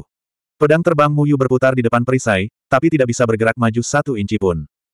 Menyapu ki, debu jatuh. Jurus kedua seni pedang jatuh debu, menyapu ki, jatuh debu, mengumpulkan ki, menghancurkan semangat, dan mengembalikan semangat ke debu. Pedang bayangan yang berputar tiba-tiba terbelah menjadi dua dan bertabrakan satu sama lain. Fluktuasi besar menyebar dari ujung pedang. Perisai yang dibentuk oleh kekuatan roh menjadi sedikit kacau, dan kemudian semua kekuatan roh tidak dapat lagi mempertahankan perisai tersebut, menyebabkannya tersebar. Pedang bayangan Muyu menembus perisai Sayan dan menembus bahu Sayan, menyebabkan darah muncrat. Sayan terkejut. Namun, pedang lainnya menembus matanya dan mengenai dadanya. Dada Sayan terasa berat, dan seluruh tubuhnya melayang dalam kabut darah. Dia terjatuh dengan keras di kursi penyambutan abadi, dan kursi penyambutan abadi dari kayu hancur berkeping-keping olehnya. Sayan berjuang untuk bangun, tapi dia merasakan hawa dingin di lehernya. Pedang bayangan itu menusuk batu di sebelah lehernya dan hampir memotong arterinya. Muyu memegang pedang bayangan lainnya di tangannya dan berdiri di tempat dengan mata dingin. Di mata orang luar, pertarungan keduanya hanya berlangsung sesaat sebelum berakhir dengan kekalahan tak berdaya Sayan. Muyu bahkan tidak menggerakkan tubuhnya. Semua orang tercengang. Tidak ada yang tahu mengapa Muyu memiliki dua pedang terbang yang identik. Mereka hanya tahu bahwa tubuhnya yang kurus dan lemah berdiri di sana, tetapi dia begitu tinggi dan tidak terjangkau. Sayan yang sangat arogan bahkan tidak bisa bertahan satu putaran pun di depan Muyu. Jika Muyu ingin membunuhnya, kepala Sayan pasti sudah terpisah dari tubuhnya sekarang. Kepala desa Butua memandang Muyu dengan kaget dan air mata mengalir dari matanya. Muyu kecil di depannya bukan lagi Muyu kecil yang membutuhkan perlindungannya. Saat ini, dia dengan mudah menaklukkan musuhnya. Tidak masalah apakah dia adalah murid serabutan atau murid dari Sekte Debu Jatuh. Yang penting adalah dia mengalahkan Tuan Abadi dari desa besar. Lalu bagaimana jika hanya ada sedikit petani di desa air mengalir? Jumlah orangnya sedikit, tapi mereka kuat. Pertama, Bersujud pada kakekku dan akui kesalahanmu. Kedua, minumlah baskom berisi air itu. Kata-kata Muyu sangat lembut, tapi seperti guntur di telinga Sayan, membuatnya takut. Dia benar-benar kalah. Dia telah kalah dari murid dari Sekte Debu Jatuh, murid pekerja serabutan yang berbakat abu-abu, dan manusia fana yang memujanya seperti dewa. Sudah berapa tahun kamu berkultivasi? Sayan bertanya dengan bingung. Dua tahun. Kata-kata Muyu seperti tamparan keras di wajah Sayan. Dia tidak mengerti. Dia telah berkultivasi sejak dia berumur 12 tahun dan telah berkultivasi dengan rajin selama 10 tahun. Dia tidak meninggalkan gunung selama 10 tahun dan sudah menjadi salah satu yang terbaik di antara rekan-rekannya. Meskipun dia bukan yang teratas, dia masih bisa dianggap luar biasa. Namun, dia telah dikalahkan oleh seorang pemuda yang baru berkultivasi selama dua tahun. Terlebih lagi, dia telah dikalahkan dengan begitu bersih tanpa ada ruang untuk melawan. Ini tidak mungkin. Saya berkultivasi selama 10 tahun, tetapi saya tidak bisa dibandingkan dengan Anda yang berkultivasi selama 2 tahun. Ini tidak mungkin. Mustahil. Sayan bergumam. Sekte Debu Jatuh hanyalah sebuah sekte kecil yang biasa-biasa saja. Bagaimana mereka bisa memiliki murid yang berbakat? Dia pernah berkultivasi di sekolah Jiuhua, yang kaya akan sumber daya budidaya, memiliki sistem budidaya paling standar, dan memiliki sesepuh paling terkenal yang tahu tentang budidaya. Namun, dia tidak bisa dibandingkan dengan murid dari Sekte Debu Jatuh yang menduduki peringkat terakhir setiap tahun. Saya tidak peduli berapa tahun Anda telah berkultivasi. Jika Anda tidak melakukan apa yang saya katakan, saya akan membunuh Anda. Kata Muyu. Kenyataannya, dia tidak akan membunuh siapa pun. Semua orang di dunia kultivasi pernah membunuh sebelumnya. Mungkin Muyu akan membunuh seseorang di masa depan, tapi dia belum siap melakukannya. Kamu ingin aku berlutut di hadapan manusia rendahan. Bermimpilah. Sayan tiba-tiba mengungkapkan senyuman puas. Saya murid sekolah Jiuhua. Apakah menurut Anda hanya saya yang meninggalkan gunung? Izinkan saya memberitahu Anda, kakak laki-laki saya Ju Wensing dan Tang yang semuanya ada di sekolah sekarang. Jika sesuatu terjadi padaku, menurutmu apakah mereka akan melepaskanmu? Biarkan desamu pergi. Ini adalah ancaman yang sangat kejam. Sayan sebenarnya menggunakan kehidupan seluruh desa air mengalir untuk mengancam Muyu. Penggarap memandang manusia sebagai semut. Mereka mungkin mampu membunuh seluruh desa. Ju Wensing. Muyu mengelus dagunya. Kenyataannya, jika dia tidak bertemu dengannya kemarin, Muyu pasti tidak akan pernah mendengar tentang orang ini. Bahkan Lanlinger mungkin hanya mendengar tentangnya tetapi tidak pernah bertemu dengannya. Adapun Tang Yang dan Li Yuan, satu telah dibunuh oleh adik laki-lakinya, sementara yang lain telah dikalahkan olehnya. Mereka bahkan telah dihukum oleh Ju Wensing sesuai aturan sekte. Meskipun Muyu merasa masalah ini sangat mencurigakan, Muyu tidak menyelidikinya. Ya, berbicara tentang kakak senior Ju Wensing, saya khawatir murid sekte kecil seperti Anda seharusnya pernah mendengar tentang dia, bukan? Dia dan Bai Liang dikenal sebagai dua talenta luar biasa di dunia kultivasi. Jika sesuatu terjadi padaku, aku pasti akan mengubur seluruh sekte debu jatuh bersamaku. Sayan berkata dengan sengit. Dia masih tidak tahu apa yang terjadi pada kakak laki-lakinya. Dia hanya merasa bahwa reputasi sekolah Jihua bukan hanya untuk pamer. Reputasi sekolah Jihua memang luar biasa, tapi Muyu tidak tertipu. Saya tidak suka diancam. Saya tidak tahu apa yang disebut Ju Wensing ini, dan saya tidak takut padanya. Anda menyakiti keluarga saya, jadi saya tidak akan melepaskan Anda. Mu Yu mendengus. Dia tidak berencana memberitahu Sayan bahwa Ju Wensing telah menghukum Li Yuan sesuai dengan aturan sekte. Mu Yu selalu merasa ada yang salah dengan masalah itu, tapi dia tidak bisa memahaminya. Kamu bahkan belum pernah mendengar reputasi kakak senior Ju Wensing. Lelucon yang luar biasa. Kamu benar-benar seekor katak di dasar sumur. Sayan mengejek. Kamu harus mengkhawatirkan dirimu sendiri dulu. Mu Yu berbalik dan menatap kepala desa. Luka mengejutkan di wajah kepala desa menyalakan kembali api kemarahan di hati Mu Yu. Saya tidak percaya Anda berani membunuh saya. Apakah sekte debu jatuh Anda berani menyinggung sekolah Jihua kami? Sayan mencibir. Muyu menggunakan tindakannya untuk menjawabnya secara langsung. Pedang klon bayangan menyala, dan pedang ki menebas lengan kiri Sayan.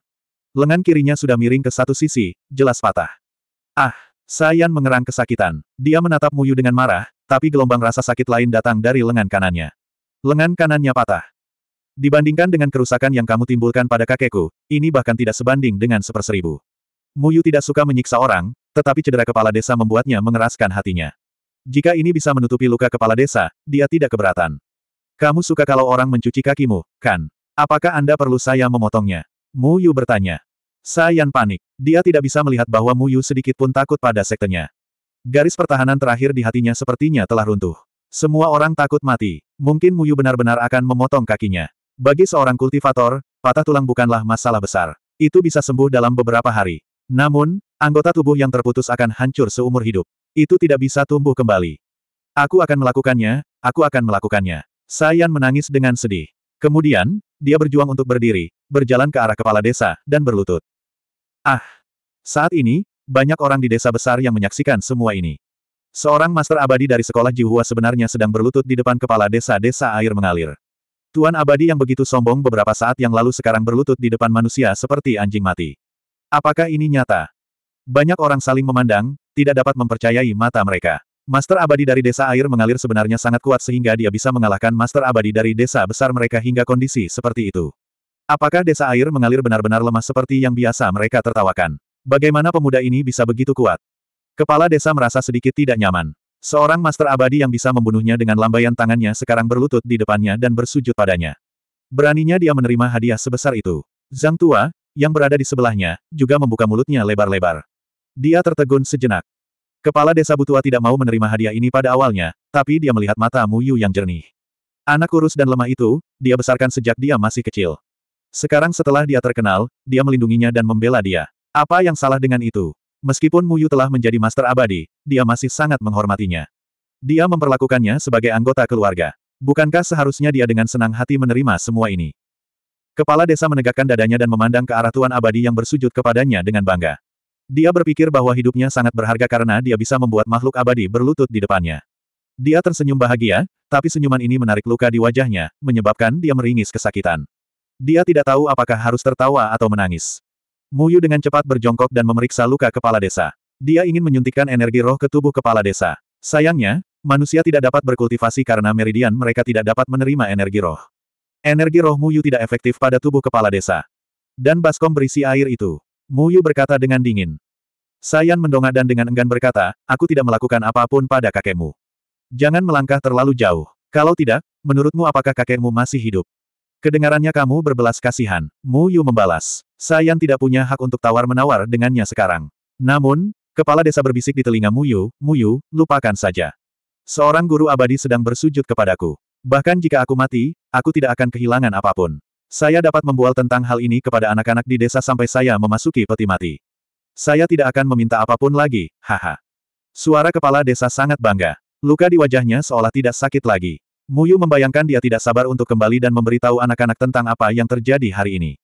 Muyu bahkan bisa menebak naskahnya. Kepala desa pasti akan dengan bangga berbicara tentang bagaimana dia lebih memilih mati daripada menyerah. Tidak peduli seberapa terlukanya dia, bagian di mana dia berlutut dan memohon belas kasihan untuk Mu Yu akan digambarkan sebagai perjuangan hidup dan mati dengan Tuan Abadi. Atau mungkin dia akan menghentikannya karena itu terlalu memalukan. Kakek, kamu bisa mengatakan apa pun yang kamu mau. Mu Yu memandang luka di wajah kepala desa dengan kasihan. Tidak peduli seberapa banyak kepala desa membual kepada anak-anak, Mu Yu tidak akan mengungkapkannya. Kepala desa rela mempertaruhkan nyawanya untuk dibunuh oleh beruang abu-abu besar itu. Bahkan jika dia takut setengah mati, dia akan tetap mengatakan bahwa dia bertarung dengan beruang abu-abu besar. Orang tua itu selalu membual kepada orang lain tentang cucunya. Bagaimana Muyu bisa mengambil hal semacam ini? Namun, orang sepertimu tidak pantas menjadi seorang kultivator. Aku tidak akan membunuhmu, tapi aku tidak akan membiarkanmu menggunakan kultivasimu untuk menyakiti penduduk desa yang baik hati. Sebelum Sayan bisa bereaksi, energi pedang Muyu telah memaksa masuk ke dalam dantian Sayan. Energi pedang yang ganas bertabrakan di dantiannya. Dantian adalah bagian paling mendasar dari seorang kultivator. Setelah rusak, budidaya kultivator akan berakhir dan dia tidak akan pernah bisa berkultivasi lagi. Kamu, ekspresi Sayan dengan cepat menjadi putus asa. Semua energi spiritual di tubuhnya tiba-tiba hilang. Tanpa perlindungan energi spiritual, rasa sakit pada patah tulangnya sangat menyayat hati. Dia memuntahkan seteguk darah. Sebelum dia bisa mengatur napas, pandangannya menjadi hitam dan dia pingsan. Apa? Apa yang terjadi padanya? Kepala desa bertanya dengan ketakutan. 38. Kepala desa berbaring dengan tenang di tempat tidur saat Mu Yu menutupinya dengan selimut. Kepala desa terus memegang tangan Mu Yu. Bahkan ketika dia tertidur, dia masih tersenyum. Mu Yu merasakan hangatnya tangan besar yang penuh kapalan. Ia ingat setiap kali ia tidak berani tidur dan datang ke sini untuk tidur, kepala desa juga memegang tangannya seperti ini. Dulu, tangan kepala desa telah memberinya rasa aman. Sekarang, tangannya seharusnya bisa memberikan rasa aman kepada kepala desa, bukan? Mu Yu berjalan ke halaman dan membalikkan badan ke atap. Saat dia melihat bintang-bintang di langit, pikirannya terpikat oleh kata-kata Sayan. Sayan membutuhkan waktu 10 tahun untuk mencapai cakrawala pertama dari alam pendirian yayasan. Muyu mengerutkan kening. Dia akhirnya mulai memikirkan hal ini dengan serius. Bakatnya berwarna ungu, tingkat bakat tertinggi. Dengan bimbingan gurunya dan pengawasan Ansu, wajar baginya untuk mencapai alam pendirian yayasan dalam dua tahun. Namun, murid sekte lain membutuhkan waktu 10 tahun untuk mencapai alam pendirian yayasan. Terlebih lagi, mereka berasal dari sekolah Jiuhua, yang menduduki peringkat kedua di antara empat sekte besar. Baik Li Yuan dan Tang Yang, yang berada di cakrawala ke-9 sekolah Jiuhua pendirian yayasan, berusia lebih dari 30 tahun. Sayan berada di cakrawala pertama dari alam pendirian yayasan pada usia 22 tahun. Ini sepertinya ada hubungannya dengan bakatnya. Tidak mengherankan jika dia telah mencapai tingkat pendirian yayasan dalam 10 tahun. Namun, Muyu memikirkan hal lain. Lan Linger hanya dua tahun lebih tua darinya, sedangkan Siang Nan tiga tahun lebih tua darinya. Keduanya berada di cakrawala ke-9 dari alam pendirian yayasan. Mu Yu tidak mempertimbangkan hal ini ketika dia berada di Gunung Luoshen. Dia hanya berpikir bahwa dia mulai berkultivasi lebih lambat dari yang lain, jadi tingkat kultivasi Lan Linger dan Siang Nan lebih tinggi daripada miliknya. Baru hari ini Mu Yu menyadari bahwa bakat Lan Linger dan Siang Nan tidak kalah dengan miliknya. Mereka tidak lebih tua darinya, tetapi tingkat kultivasi mereka jauh lebih tinggi. Orang yang memiliki tingkat kultivasi yang sama dengan mereka berusia dua kali lipat. Bagaimana sekte lain bisa dibandingkan dengan mereka? Yang paling menakutkan adalah kakak Cheng Yan. Kakak yang muda didekati ini baru berusia 20 tahun, namun budidayanya telah memasuki periode Jindan. Guru pernah bertanya kepada Cheng Yan seberapa yakinnya dia jika bertarung dengan Bai Liang. Saat itu, Bai Liang sudah berusia 25 tahun, dan Cheng Yan baru berusia 18 tahun. Namun, Cheng Yan bilang ini akan seri. Murid dari Sekte Debu Jatuh tidak memiliki bakat abu-abu atau ungu, jadi tidak peduli seberapa bagus bakatmu, kamu tidak akan menerima perlakuan khusus apa pun di Sekte Debu Jatuh. Mu Yu tidak melupakan apa yang dikatakan gurunya di akademi. Dia mengira gurunya ingin mengajarinya untuk meremehkan bakatnya sendiri dan tidak mengejar perlakuan ekstra istimewa hanya karena bakatnya bagus. Saat itu, dia mengira gurunya sedang menunjukkan bahwa dia akan memperlakukan semua muridnya secara setara. Sekarang setelah dia memikirkannya, kata-kata gurunya sepertinya berarti, anggota lain dari Sekte Debu Jatuh tidak kalah berbakatnya denganmu, jadi jangan melebih-lebihkan dirimu sendiri. Monster macam apa yang diambil oleh Sekte Debu Jatuh? Mu Yu lupa bahwa dia juga monster kecil di Sekte Debu Jatuh. Dia merasa sulit untuk tenang. Gurunya sering mengatakan bahwa dia cocok untuk berkultivasi, dan Mu Yu berpikir bahwa yang dia maksud adalah bakatnya yang tinggi dan cocok untuk berkultivasi. Mu Yu sering bangga akan hal ini, dan terus bertengkar dengan Lan Linger tentang hal itu. Biasanya dia cukup bangga dengan bakatnya. Sekarang setelah dia turun gunung dan melihat bakat murid-murid lainnya, dia menyadari bahwa kakak-kakak seniornya tidak kalah dengan dia dalam hal bakat. Karena, cocok untuk berkultivasi, tidak mengacu pada talenta tinggi, lalu apa maksudnya? Mu Yu merasakan kekalahan. Dia tidak bisa dibandingkan dengan Lan Linger, Xiang Nan, dan lainnya dalam aspek apa pun. Hanya apa yang disebut, cocok untuk budidaya, yang tidak jelas. Dalam dua tahun dia berada di Falling Dust Mountain, bimbingan yang dia terima tidak diragukan lagi jauh lebih unggul daripada sekte lainnya. Jika ahli dunia lain seperti gurunya ingin memperluas sekte tersebut, Muyu percaya bahwa kekuatan sekte debu jatuh tidak akan kalah dari sekte lain.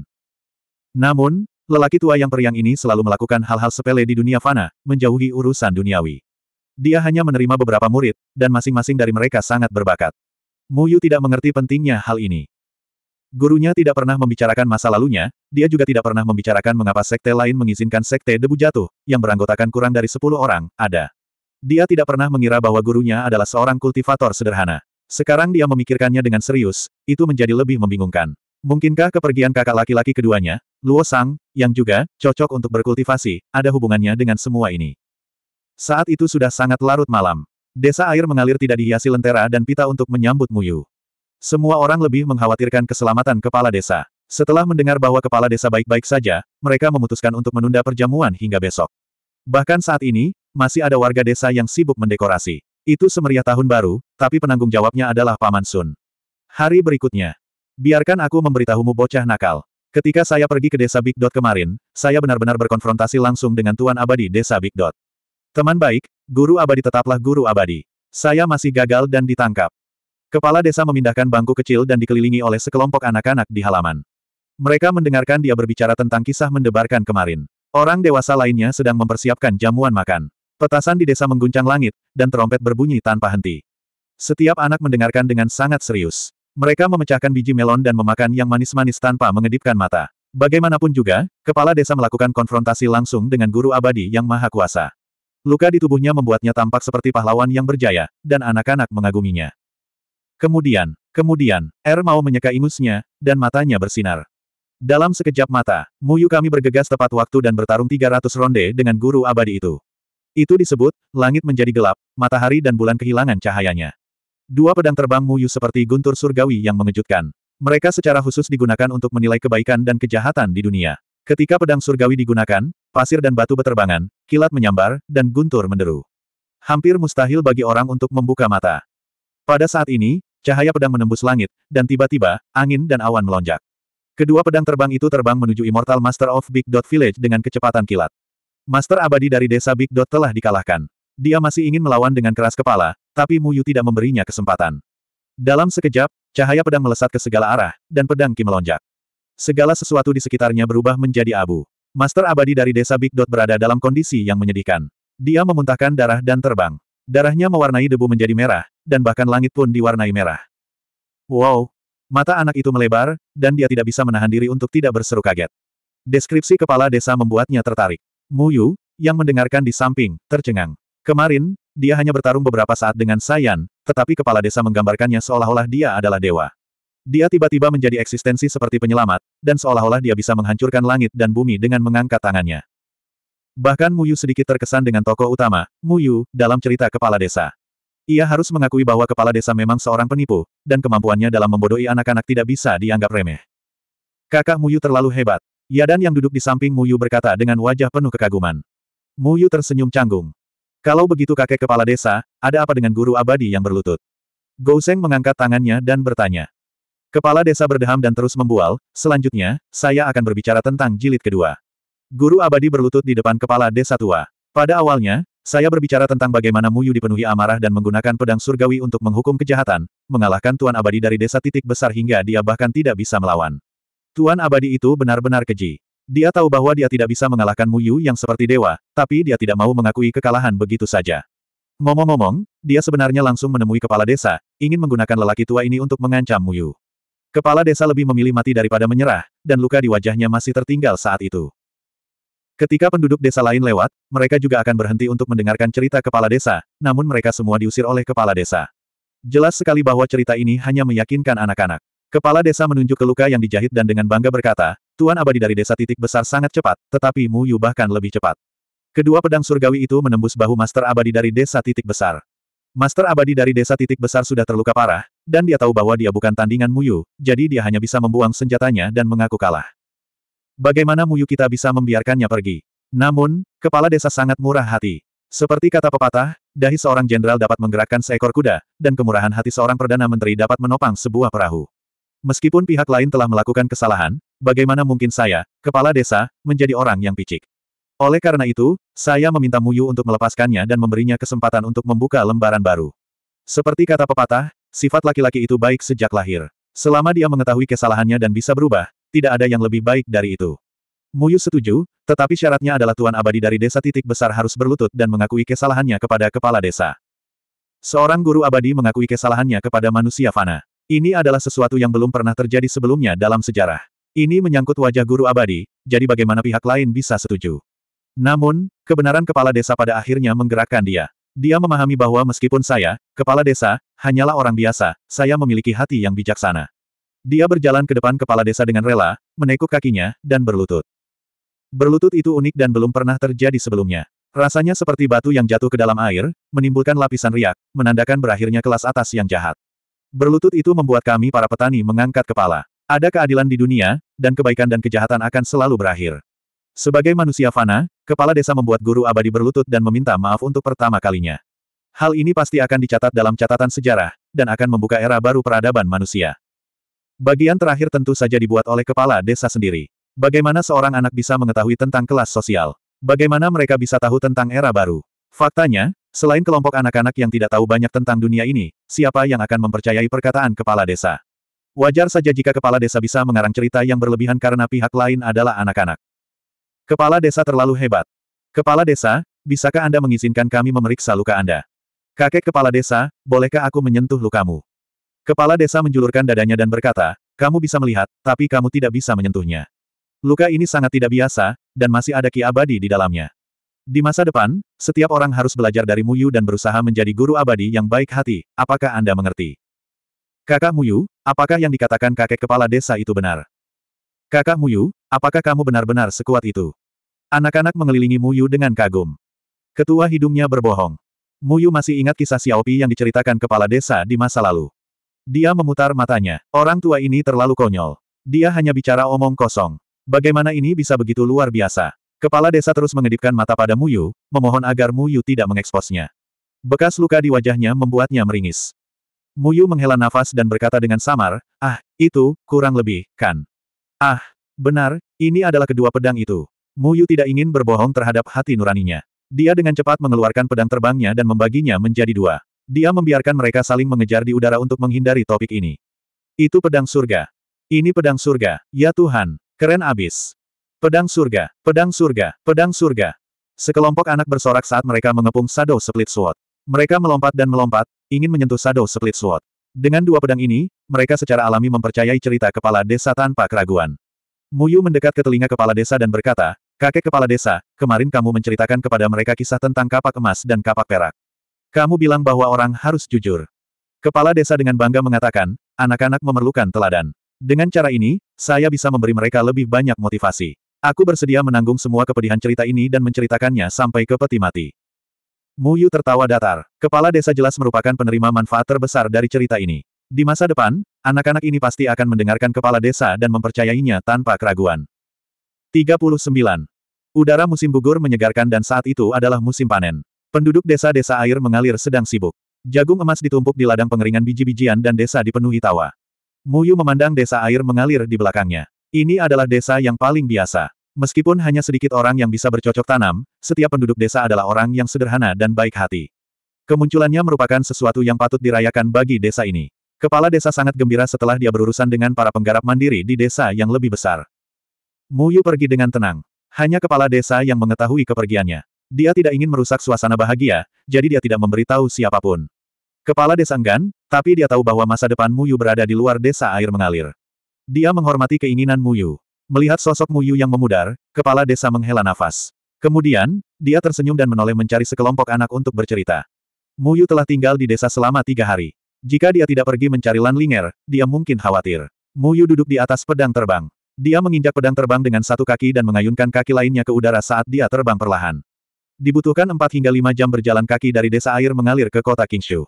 Muyu hanya terbang kurang dari dua jam sebelum dia melihat garis besar kota Kingshu yang megah.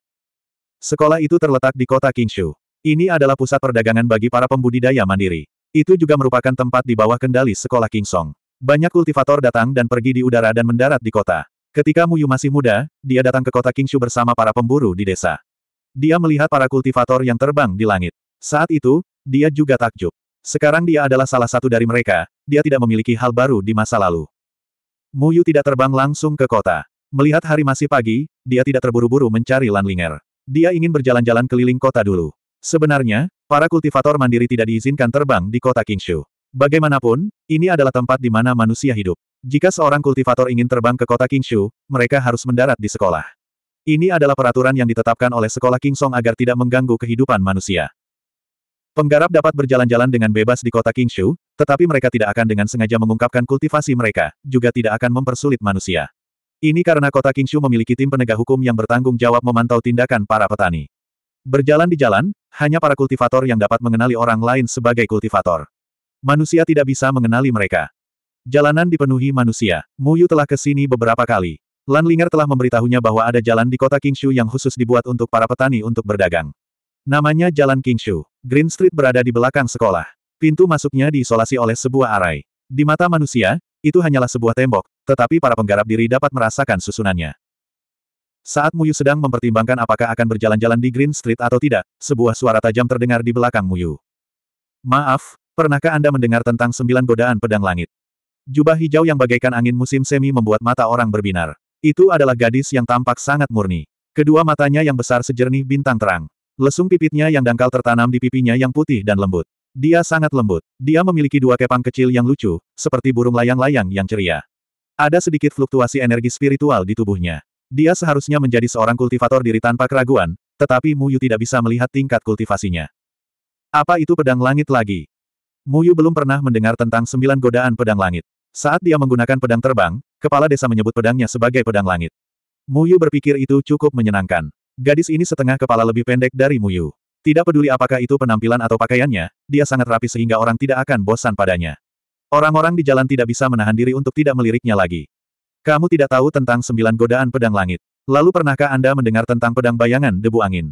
Gadis berjubah hijau itu mengedipkan matanya dan terus bertanya. Muyu menggelengkan kepalanya dengan jujur. Dia tidak tahu tentang sembilan godaan pedang langit, dia juga tidak tahu tentang angin debu bayangan pedang. Dia berpikir bahwa dia mungkin bodoh dan tidak berpengalaman. Namun, jika sembilan godaan pedang langit ini begitu terkenal, gurunya pasti akan menyebutkannya. Majikannya bukanlah orang yang bodoh dan tidak berpengalaman.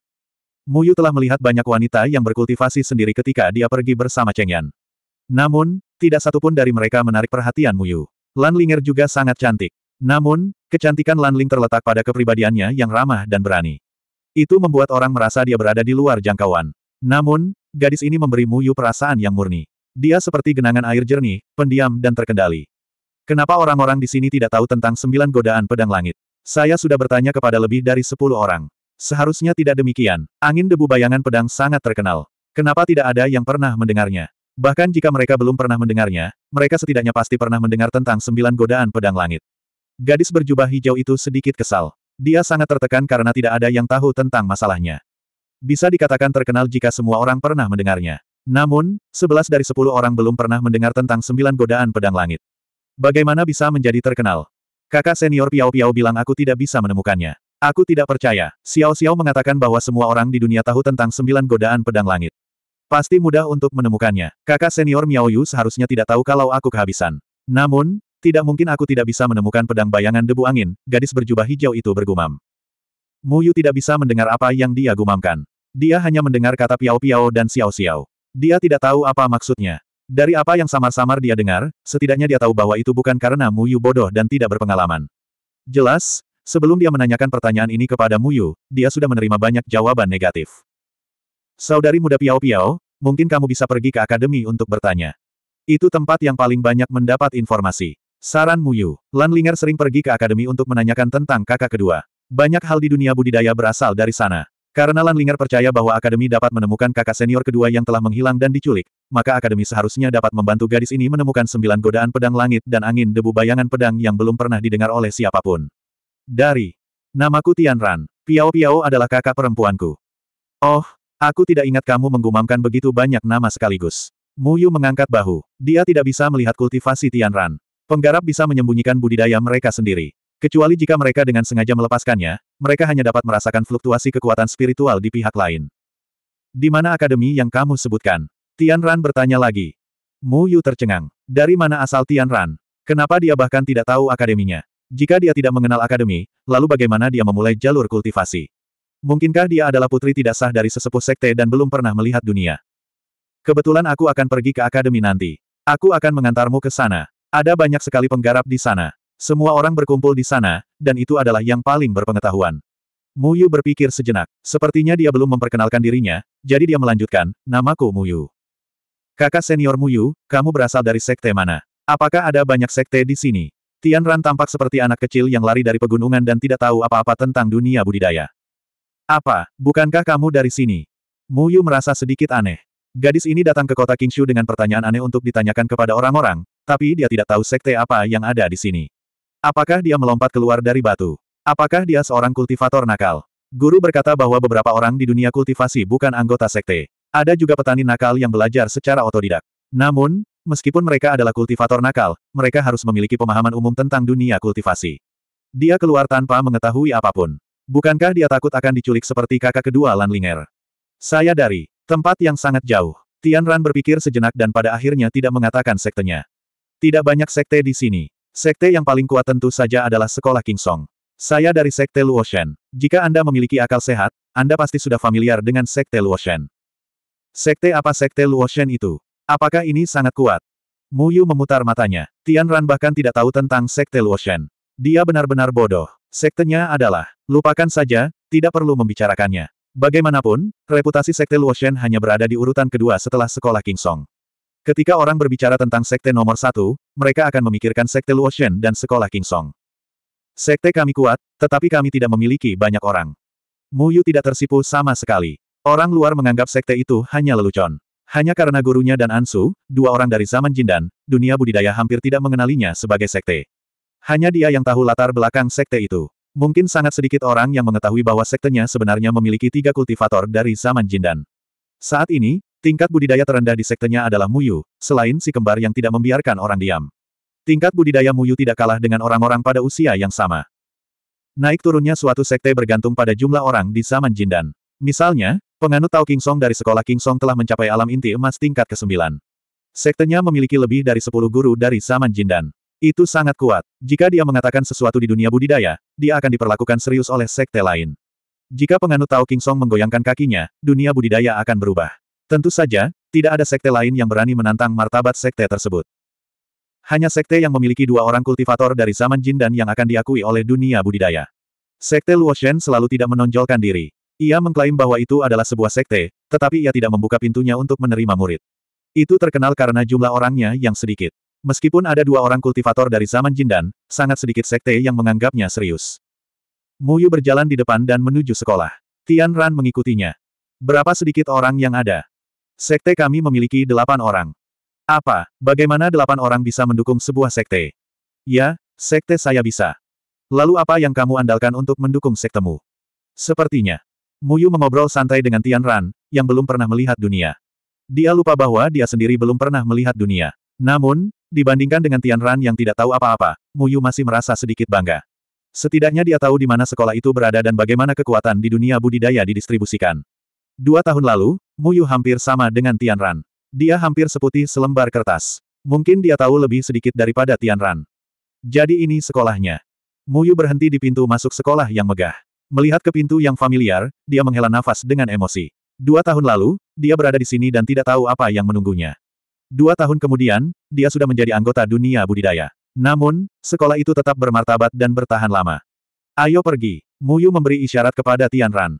Tidak ada seorang pun yang menjaga sekolah. Manusia memuja tempat ini dan tidak berani bertindak sombong. Penggarap tidak perlu disambut saat masuk. Saat ini, ada dua orang kultivator yang sedang mengobrol di depan gerbang sekolah. Mereka sama sekali tidak memperhatikan kedatangan Muyu.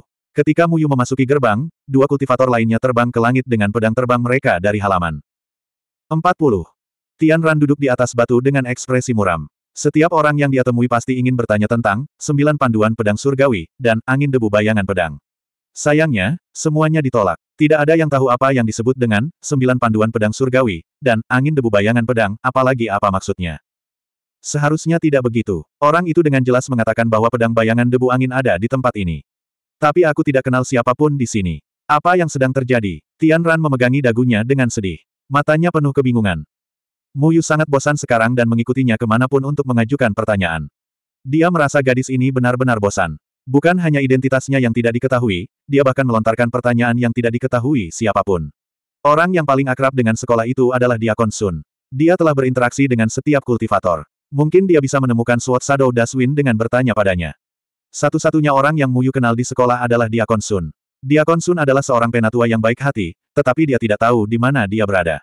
Dia menemukan seorang murid abu-abu dan bertanya. Dia hanya mendengar bahwa Diakon Sun tidak bertanggung jawab atas sekolah. Diakon Sun telah diperintahkan untuk menjalankan misi dan belum kembali. Suat Shadow Daswin mengacu pada seseorang, kan? Mu Yu bertanya. Tian Ran mengangguk. Suat Shadow Daswin adalah orang yang sangat kuat. Semua orang di dunia budidaya mengetahui hal ini. Saya tidak mengerti mengapa kalian tidak mengetahuinya. Mu Yu dikalahkan oleh gadis ini.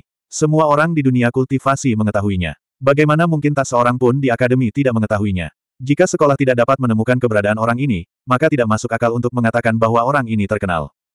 Seperti apa rupa orang itu? Mata besar, telinga besar, dan alis besar. Tian Ran hanya menanyakan dua kalimat kepada orang-orang dari awal sampai akhir. Dia sama sekali tidak mendeskripsikan orang ini. Akan aneh jika mereka bisa menemukannya seperti ini. Aku juga belum melihatnya. Saya hanya harus menemukannya karena sesuatu telah terjadi. Kata-kata Tian Ran membuat Mu Yu benar-benar meninggalkan gagasan untuk membantunya menemukan orang ini. Bahkan dia belum pernah melihat orang ini sebelumnya. Apakah menemukan jarum di tumpukan jerami itu sebuah lelucon? Baiklah, kalau begitu kamu bisa mencobanya lagi. Aku akan mencari kakak perempuanku. Jika Anda butuh sesuatu, Anda dapat menemukan saya di halaman samping Sekte Debu Jatuh. Muyu memikirkan Linger yang memintanya untuk menemukannya hari ini. Jika dia terlambat, dia akan mengatakan sesuatu seperti, kakak kedua tidak pernah terlambat. Memikirkannya saja sudah membuatnya merasa kesal. Baiklah, kamu bisa melanjutkan. Tian Ran melambaikan tangannya pada Mu Yu. Harus dikatakan bahwa akademi adalah tempat yang sangat besar. Setiap sekte memiliki halaman di akademi, yang khusus digunakan untuk murid yang pergi keluar untuk melakukan sesuatu. Ketika Mu Yu berjalan melewati halaman sekolah King Song, dia tidak bisa menahan diri untuk tidak menghela nafas melihat kemegahan sekte besar. Bahkan pintu kecil di halaman lain lebih mengesankan daripada gerbang gunung sekte Luoshen. Ketika Mu Yu membuka pintu kayu tua dengan tulisan, Sekte Luoshen, di atasnya, dia merasakan perbedaan besar di hatinya. Kakak senior, Aku di sini. Muyu mendorong pintu kayu halaman hingga terbuka. Semua halaman direnovasi oleh berbagai sekte. Muyu sudah sangat puas karena halaman sekte debu jatuh bukanlah gubuk jerami. Mereka terkenal miskin. Lan Linger sedang duduk di kursi batu di halaman, jari-jarinya saling bertautan. Matanya menatap kosong ke langit. Tidak ada yang tahu apa yang dia pikirkan, tapi dia tidak memperhatikan Muyu. Muyu meminta penghinaan. Dia berpikir akan lebih baik jika berjalan-jalan di luar, jadi dia dengan santai bertanya, bagaimana kabarnya? Apakah ada kabar tentang kakak laki-laki kedua tercinta? Ini adalah pertanyaan yang dia sudah tahu jawabannya. Akan aneh jika ada kabar tentang kakak kedua yang bahkan tidak muncul. Muyu hanya meminta ini untuk menarik perhatian Lan Ling, jadi dia tidak akan selalu memperlakukannya seperti udara. Siapa sangka mata Lan Ling tiba-tiba memerah. Dia melemparkan dirinya ke bahu Muyu dan memeluk Muyu dengan erat, lalu mulai menangis. Ini membuat Muyu ketakutan. Ada apa dengan Lan Linger yang biasanya akan dimarahi setengah hari jika menyentuhnya? Kenapa dia melakukan hal yang tidak masuk akal seperti itu? Mu Yu bingung. Ini adalah pertama kalinya seorang gadis memeluknya. Terlebih lagi, Lan Lingerlah yang biasanya bertengkar dengannya. Tubuhnya tiba-tiba menegang, dan dia tidak tahu harus meletakkan tangannya di mana. Lan Linger benar-benar memeluknya. Pikiran Mu Yu kosong. Dia tidak tahu mengapa dipeluk oleh Lan Linger memberinya perasaan yang begitu indah. Jantungnya berdebar gembira seperti rusa kecil. Dia sedikit senang. Itu seperti malam ketika Lan Linger tertidur di depannya tanpa kewaspadaan. Dia menyukai perasaan ini. Itu, itu, kakak senior, apakah kamu terlalu merindukanku? Muyu ingin mengatakan sesuatu, tetapi kata-kata yang keluar dari mulutnya benar-benar meminta pukulan. Kakak kedua, ada kabar tentang kakak kedua. Lan Linger sepertinya telah menemukan celah untuk curhat. Air matanya mengalir seperti bendungan yang jebol. Berapa hari dan malam dia merindukannya, hanya untuk menunggu orang hilang itu. Setiap kali dia turun gunung, dia dengan keras kepala datang ke sini untuk menanyakan kabar. Setiap kali dia punya harapan, dia akan kecewa lagi dan lagi. Dia menyimpan banyak hal di dalam hatinya. Semua orang memberitahunya bahwa kakak kedua tidak akan kembali. Dia adalah satu-satunya yang diam-diam menanggungnya, sangat yakin bahwa kakak kedua akan kembali. Sekarang akhirnya ada berita tentang kakak kedua, pikirannya melonjak. Ketika Mu Yu dengan santai bertanya, dia tidak bisa menahan tangis. Mu Yu tercengang. Ada berita tentang kakak kedua. Mu Yu tidak menyukai keberadaan kakak kedua. Pertengkarannya sehari-hari dengan Lan Linger semua karena kakak kedua. Biasanya, dia juga ingin tahu apakah kakak kedua yang legendaris ini memiliki tiga kepala dan enam lengan sehingga membuat Lan Linger begitu khawatir. Dia terbiasa mengolok-olok kakak kedua. Terkadang, dia juga ingin tahu lebih banyak tentang kakak kedua. Sayangnya, tidak ada yang mau berkomentar banyak. Hari ini, ketika dia mendengar Lan Linger mengatakan bahwa ada berita tentang kakak senior kedua, dia tidak begitu ingin tahu di mana kakak senior kedua berada. Sebaliknya, dia tidak ingin kakak kedua muncul. Saat Muyu dipeluk oleh Lan Linger, bagian terdalam hatinya seakan disentuh oleh seseorang. Perasaan tidak bersalah memenuhi hatinya, seolah-olah sesuatu yang tertidur perlahan-lahan terbangun. Dia sangat ingin memeluk Lan Linger dan tidak melepaskannya, seperti malam itu ketika dia diam-diam melihat Lan Linger tertidur. Namun, Lan Linger memeluknya karena dia mendengar kabar tentang kakak kedua. Biasanya, Lan Linger bahkan tidak mau menyentuhnya. Hati Muyu dipenuhi dengan perasaan campur aduk. Sejak kapan dia mempunyai perasaan aneh terhadap Lan Linger? Dia tidak menyukai Lan Linger, kan? Dia tidak menyukai Lan Linger. Kakak senior, ada kabar tentang kakak kedua. Saya pikir dia diculik dan dijual. Muyu mengatakan ini pada waktu yang tidak tepat. Paruh kedua kalimat ini adalah apa yang ingin dia lihat. Dia dengan cepat menyesal mengatakan ini karena Lan Linger menyadari bahwa dia telah kehilangan ketenangannya dan buru-buru melepaskan Muyu. Maaf, aku benar-benar ingin mencari. Aku tidak bisa menahannya. Kamu, kamu bisa berpura-pura tidak terjadi apa-apa. Untuk pertama kalinya, Lan Linger tidak marah karena Muyu mengatakan hal buruk tentang kakak kedua. Setelah mendengar berita tentang kakak kedua, dia berguling-guling, tidak bisa tidur. Pikiran beberapa tahun terakhir muncul di benaknya. Emosi yang telah lama terpendam seperti itu membuatnya sangat tertekan. Dan Muyu muncul di depannya seperti ini. Untuk sesaat, dia lupa bahwa dia dan Muyu masih bermusuhan. Dia sendiri tidak berpikir bahwa dia akan memeluk Muyu dan menangis di depan Muyu. Ini hampir merupakan hal yang sangat memalukan.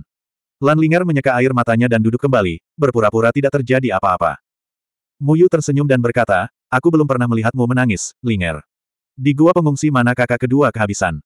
Muyu benar-benar tidak ingin mengatakan ini, tetapi perasaan pahit di hatinya masih ada. Dia ingin menutupi kecanggungan tadi dengan menggoda kakak senior kedua dan memberitahu Lan Linger bahwa dia tidak terpengaruh oleh apa yang baru saja terjadi. Tapi saat dia mengatakan ini, dia merasa lebih tidak nyaman. Dia merasa aneh, seperti baru saja menjatuhkan sesuatu. Bukan urusanmu. Ketika kakak kedua kembali, Anda akan merasa malu. Lan Linger memelototi Muyu. Jika kamu berani memberitahu siapa pun tentang apa yang baru saja terjadi, aku tidak akan memaafkanmu. Lan Linger tetaplah Lan Linger, tapi Mu Yu bukan lagi Mu Yu. Ternyata Lan Linger sudah pernah bertemu dengan hati Mu Yu pada suatu saat.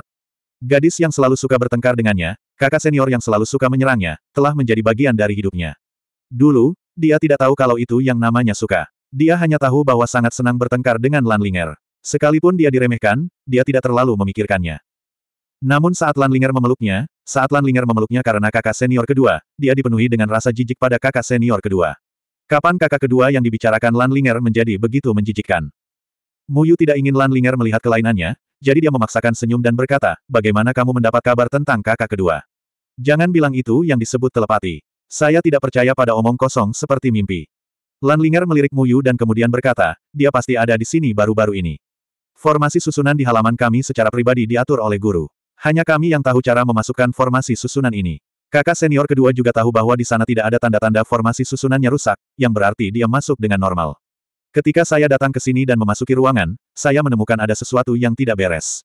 Cara melipat selimut di tempat tidur berbeda dengan cara saya melipatnya. Begitulah cara dia melipatnya. Saya tidak mungkin salah. Mu Yu terdiam, karena cara melipat selimutnya berbeda. Kamu sudah hampir setengah tahun tidak ke sini. Bagaimana kamu tahu cara melipat selimutnya? Mungkin kamulah yang melipatnya. Alasan ini terlalu dibuat-buat. Muyu merasa Lan Linger berhalusinasi karena dia terlalu memikirkan kakak kedua. Banyak pembudidaya bisa masuk akademi sesuka hati, tetapi mereka tidak bisa memasuki halaman masing-masing sekte. Setiap halaman memiliki formasi susunan yang diatur untuk mencegah orang lain masuk sesuka hati. Hanya orang-orang dari sekte mereka sendiri yang tahu cara menghancurkan formasi susunan ini. Muyu juga mengetahui hal ini. Ketika dia masuk sekarang, tidak ada formasi susunan yang menghalanginya karena Lan Linger telah merusak formasi susunan tersebut. Lan Linger menggelengkan kepalanya. Saya tidak melipatnya. Guru datang ke sini bulan lalu, ingat. Bulan lalu adalah hari perekrutan akademi tahun ini. Guru adalah orang yang sangat santai. Dia tidak tahu cara melipat selimutnya. Dia hanya tahu cara melipat selimut dan membaringkannya di tempat tidur. Sebaliknya, kakak senior kedua adalah orang yang sangat ketat. Dia suka mengatur segala sesuatunya dengan tertib. Biasanya dia melipat selimutnya seperti ini. Terlebih lagi, selimut itu menghadap ke arah tertentu dan tidak akan tergerak bahkan oleh guntur. Saya tidak akan salah mengingat ini karena dia mengajari saya cara melipatnya. Saya selalu melipat selimut ke arah yang berlawanan dari dia. Ketika Lan Linger mengatakan ini, matanya kembali memerah. Dia dan kakak kedua telah bergantung satu sama lain untuk bertahan hidup sejak mereka masih muda. Mereka bukan saudara kandung, tapi mereka lebih seperti saudara kandung. Segala sesuatu tentang Lan Linger diajarkan oleh kakak senior kedua. Ketika Lan Linger berpikir bahwa dia akan bersama kakak kedua selamanya, dia pergi dan tidak pernah kembali. Dia menghilang dari dunia, hanya menyisakan pikiran yang tak ada habisnya untuk Lan Linger. Muyu benar-benar ingin mengatakan bahwa mungkin guru dengan santai melipat selimut itu karena dia merindukan kakak kedua ketika dia datang ke sini bulan lalu. Namun, dia tidak ingin menyakiti Lan Linger lagi, jadi dia tidak mengatakan apa pun. Merindukan seseorang terkadang bisa sangat keras kepala. Mengapa menyakiti perasaan orang lain? Aku sudah mencari di kota selama tiga hari, tapi aku masih belum melihat kakak kedua. Kupikir dia akan datang ke sini lagi. Suara Lan Linger merendah. Dia telah menunggu di sini selama beberapa hari terakhir, berharap kakak kedua tiba-tiba muncul di hadapannya, memegang tangannya, dan memberitahu dia alasan dia pergi. Dia memiliki terlalu banyak hal untuk dikatakan kepada kakak kedua. Sekalipun dia hanya bisa bertemu dengannya sekali, itu akan bagus. Namun, kakak kedua tidak muncul. Hanya Muyu yang datang ke sini. Ya, mungkin kakak kedua kembali. Apa yang saya tunggu di sini? Kakak kedua pasti sudah berada di Gunung Luoshan. Saya akan kembali dan bertanya kepada guru apakah dia melipat selimutnya bulan lalu. Dengan cara ini, saya akan yakin jika kakak kedua datang ke sini. Lan Linger mengangkat kepalanya dan berdiri. Dia tidak sabar untuk kembali ke gunung. Muyu menghela nafas. Dia benar-benar turun gunung dengan tergesa-gesa kali ini. Dia bahkan tidak punya waktu untuk berjalan-jalan sebelum dia harus kembali bersama Lan Linger. Namun, saat ini, suara dingin terdengar di luar halaman.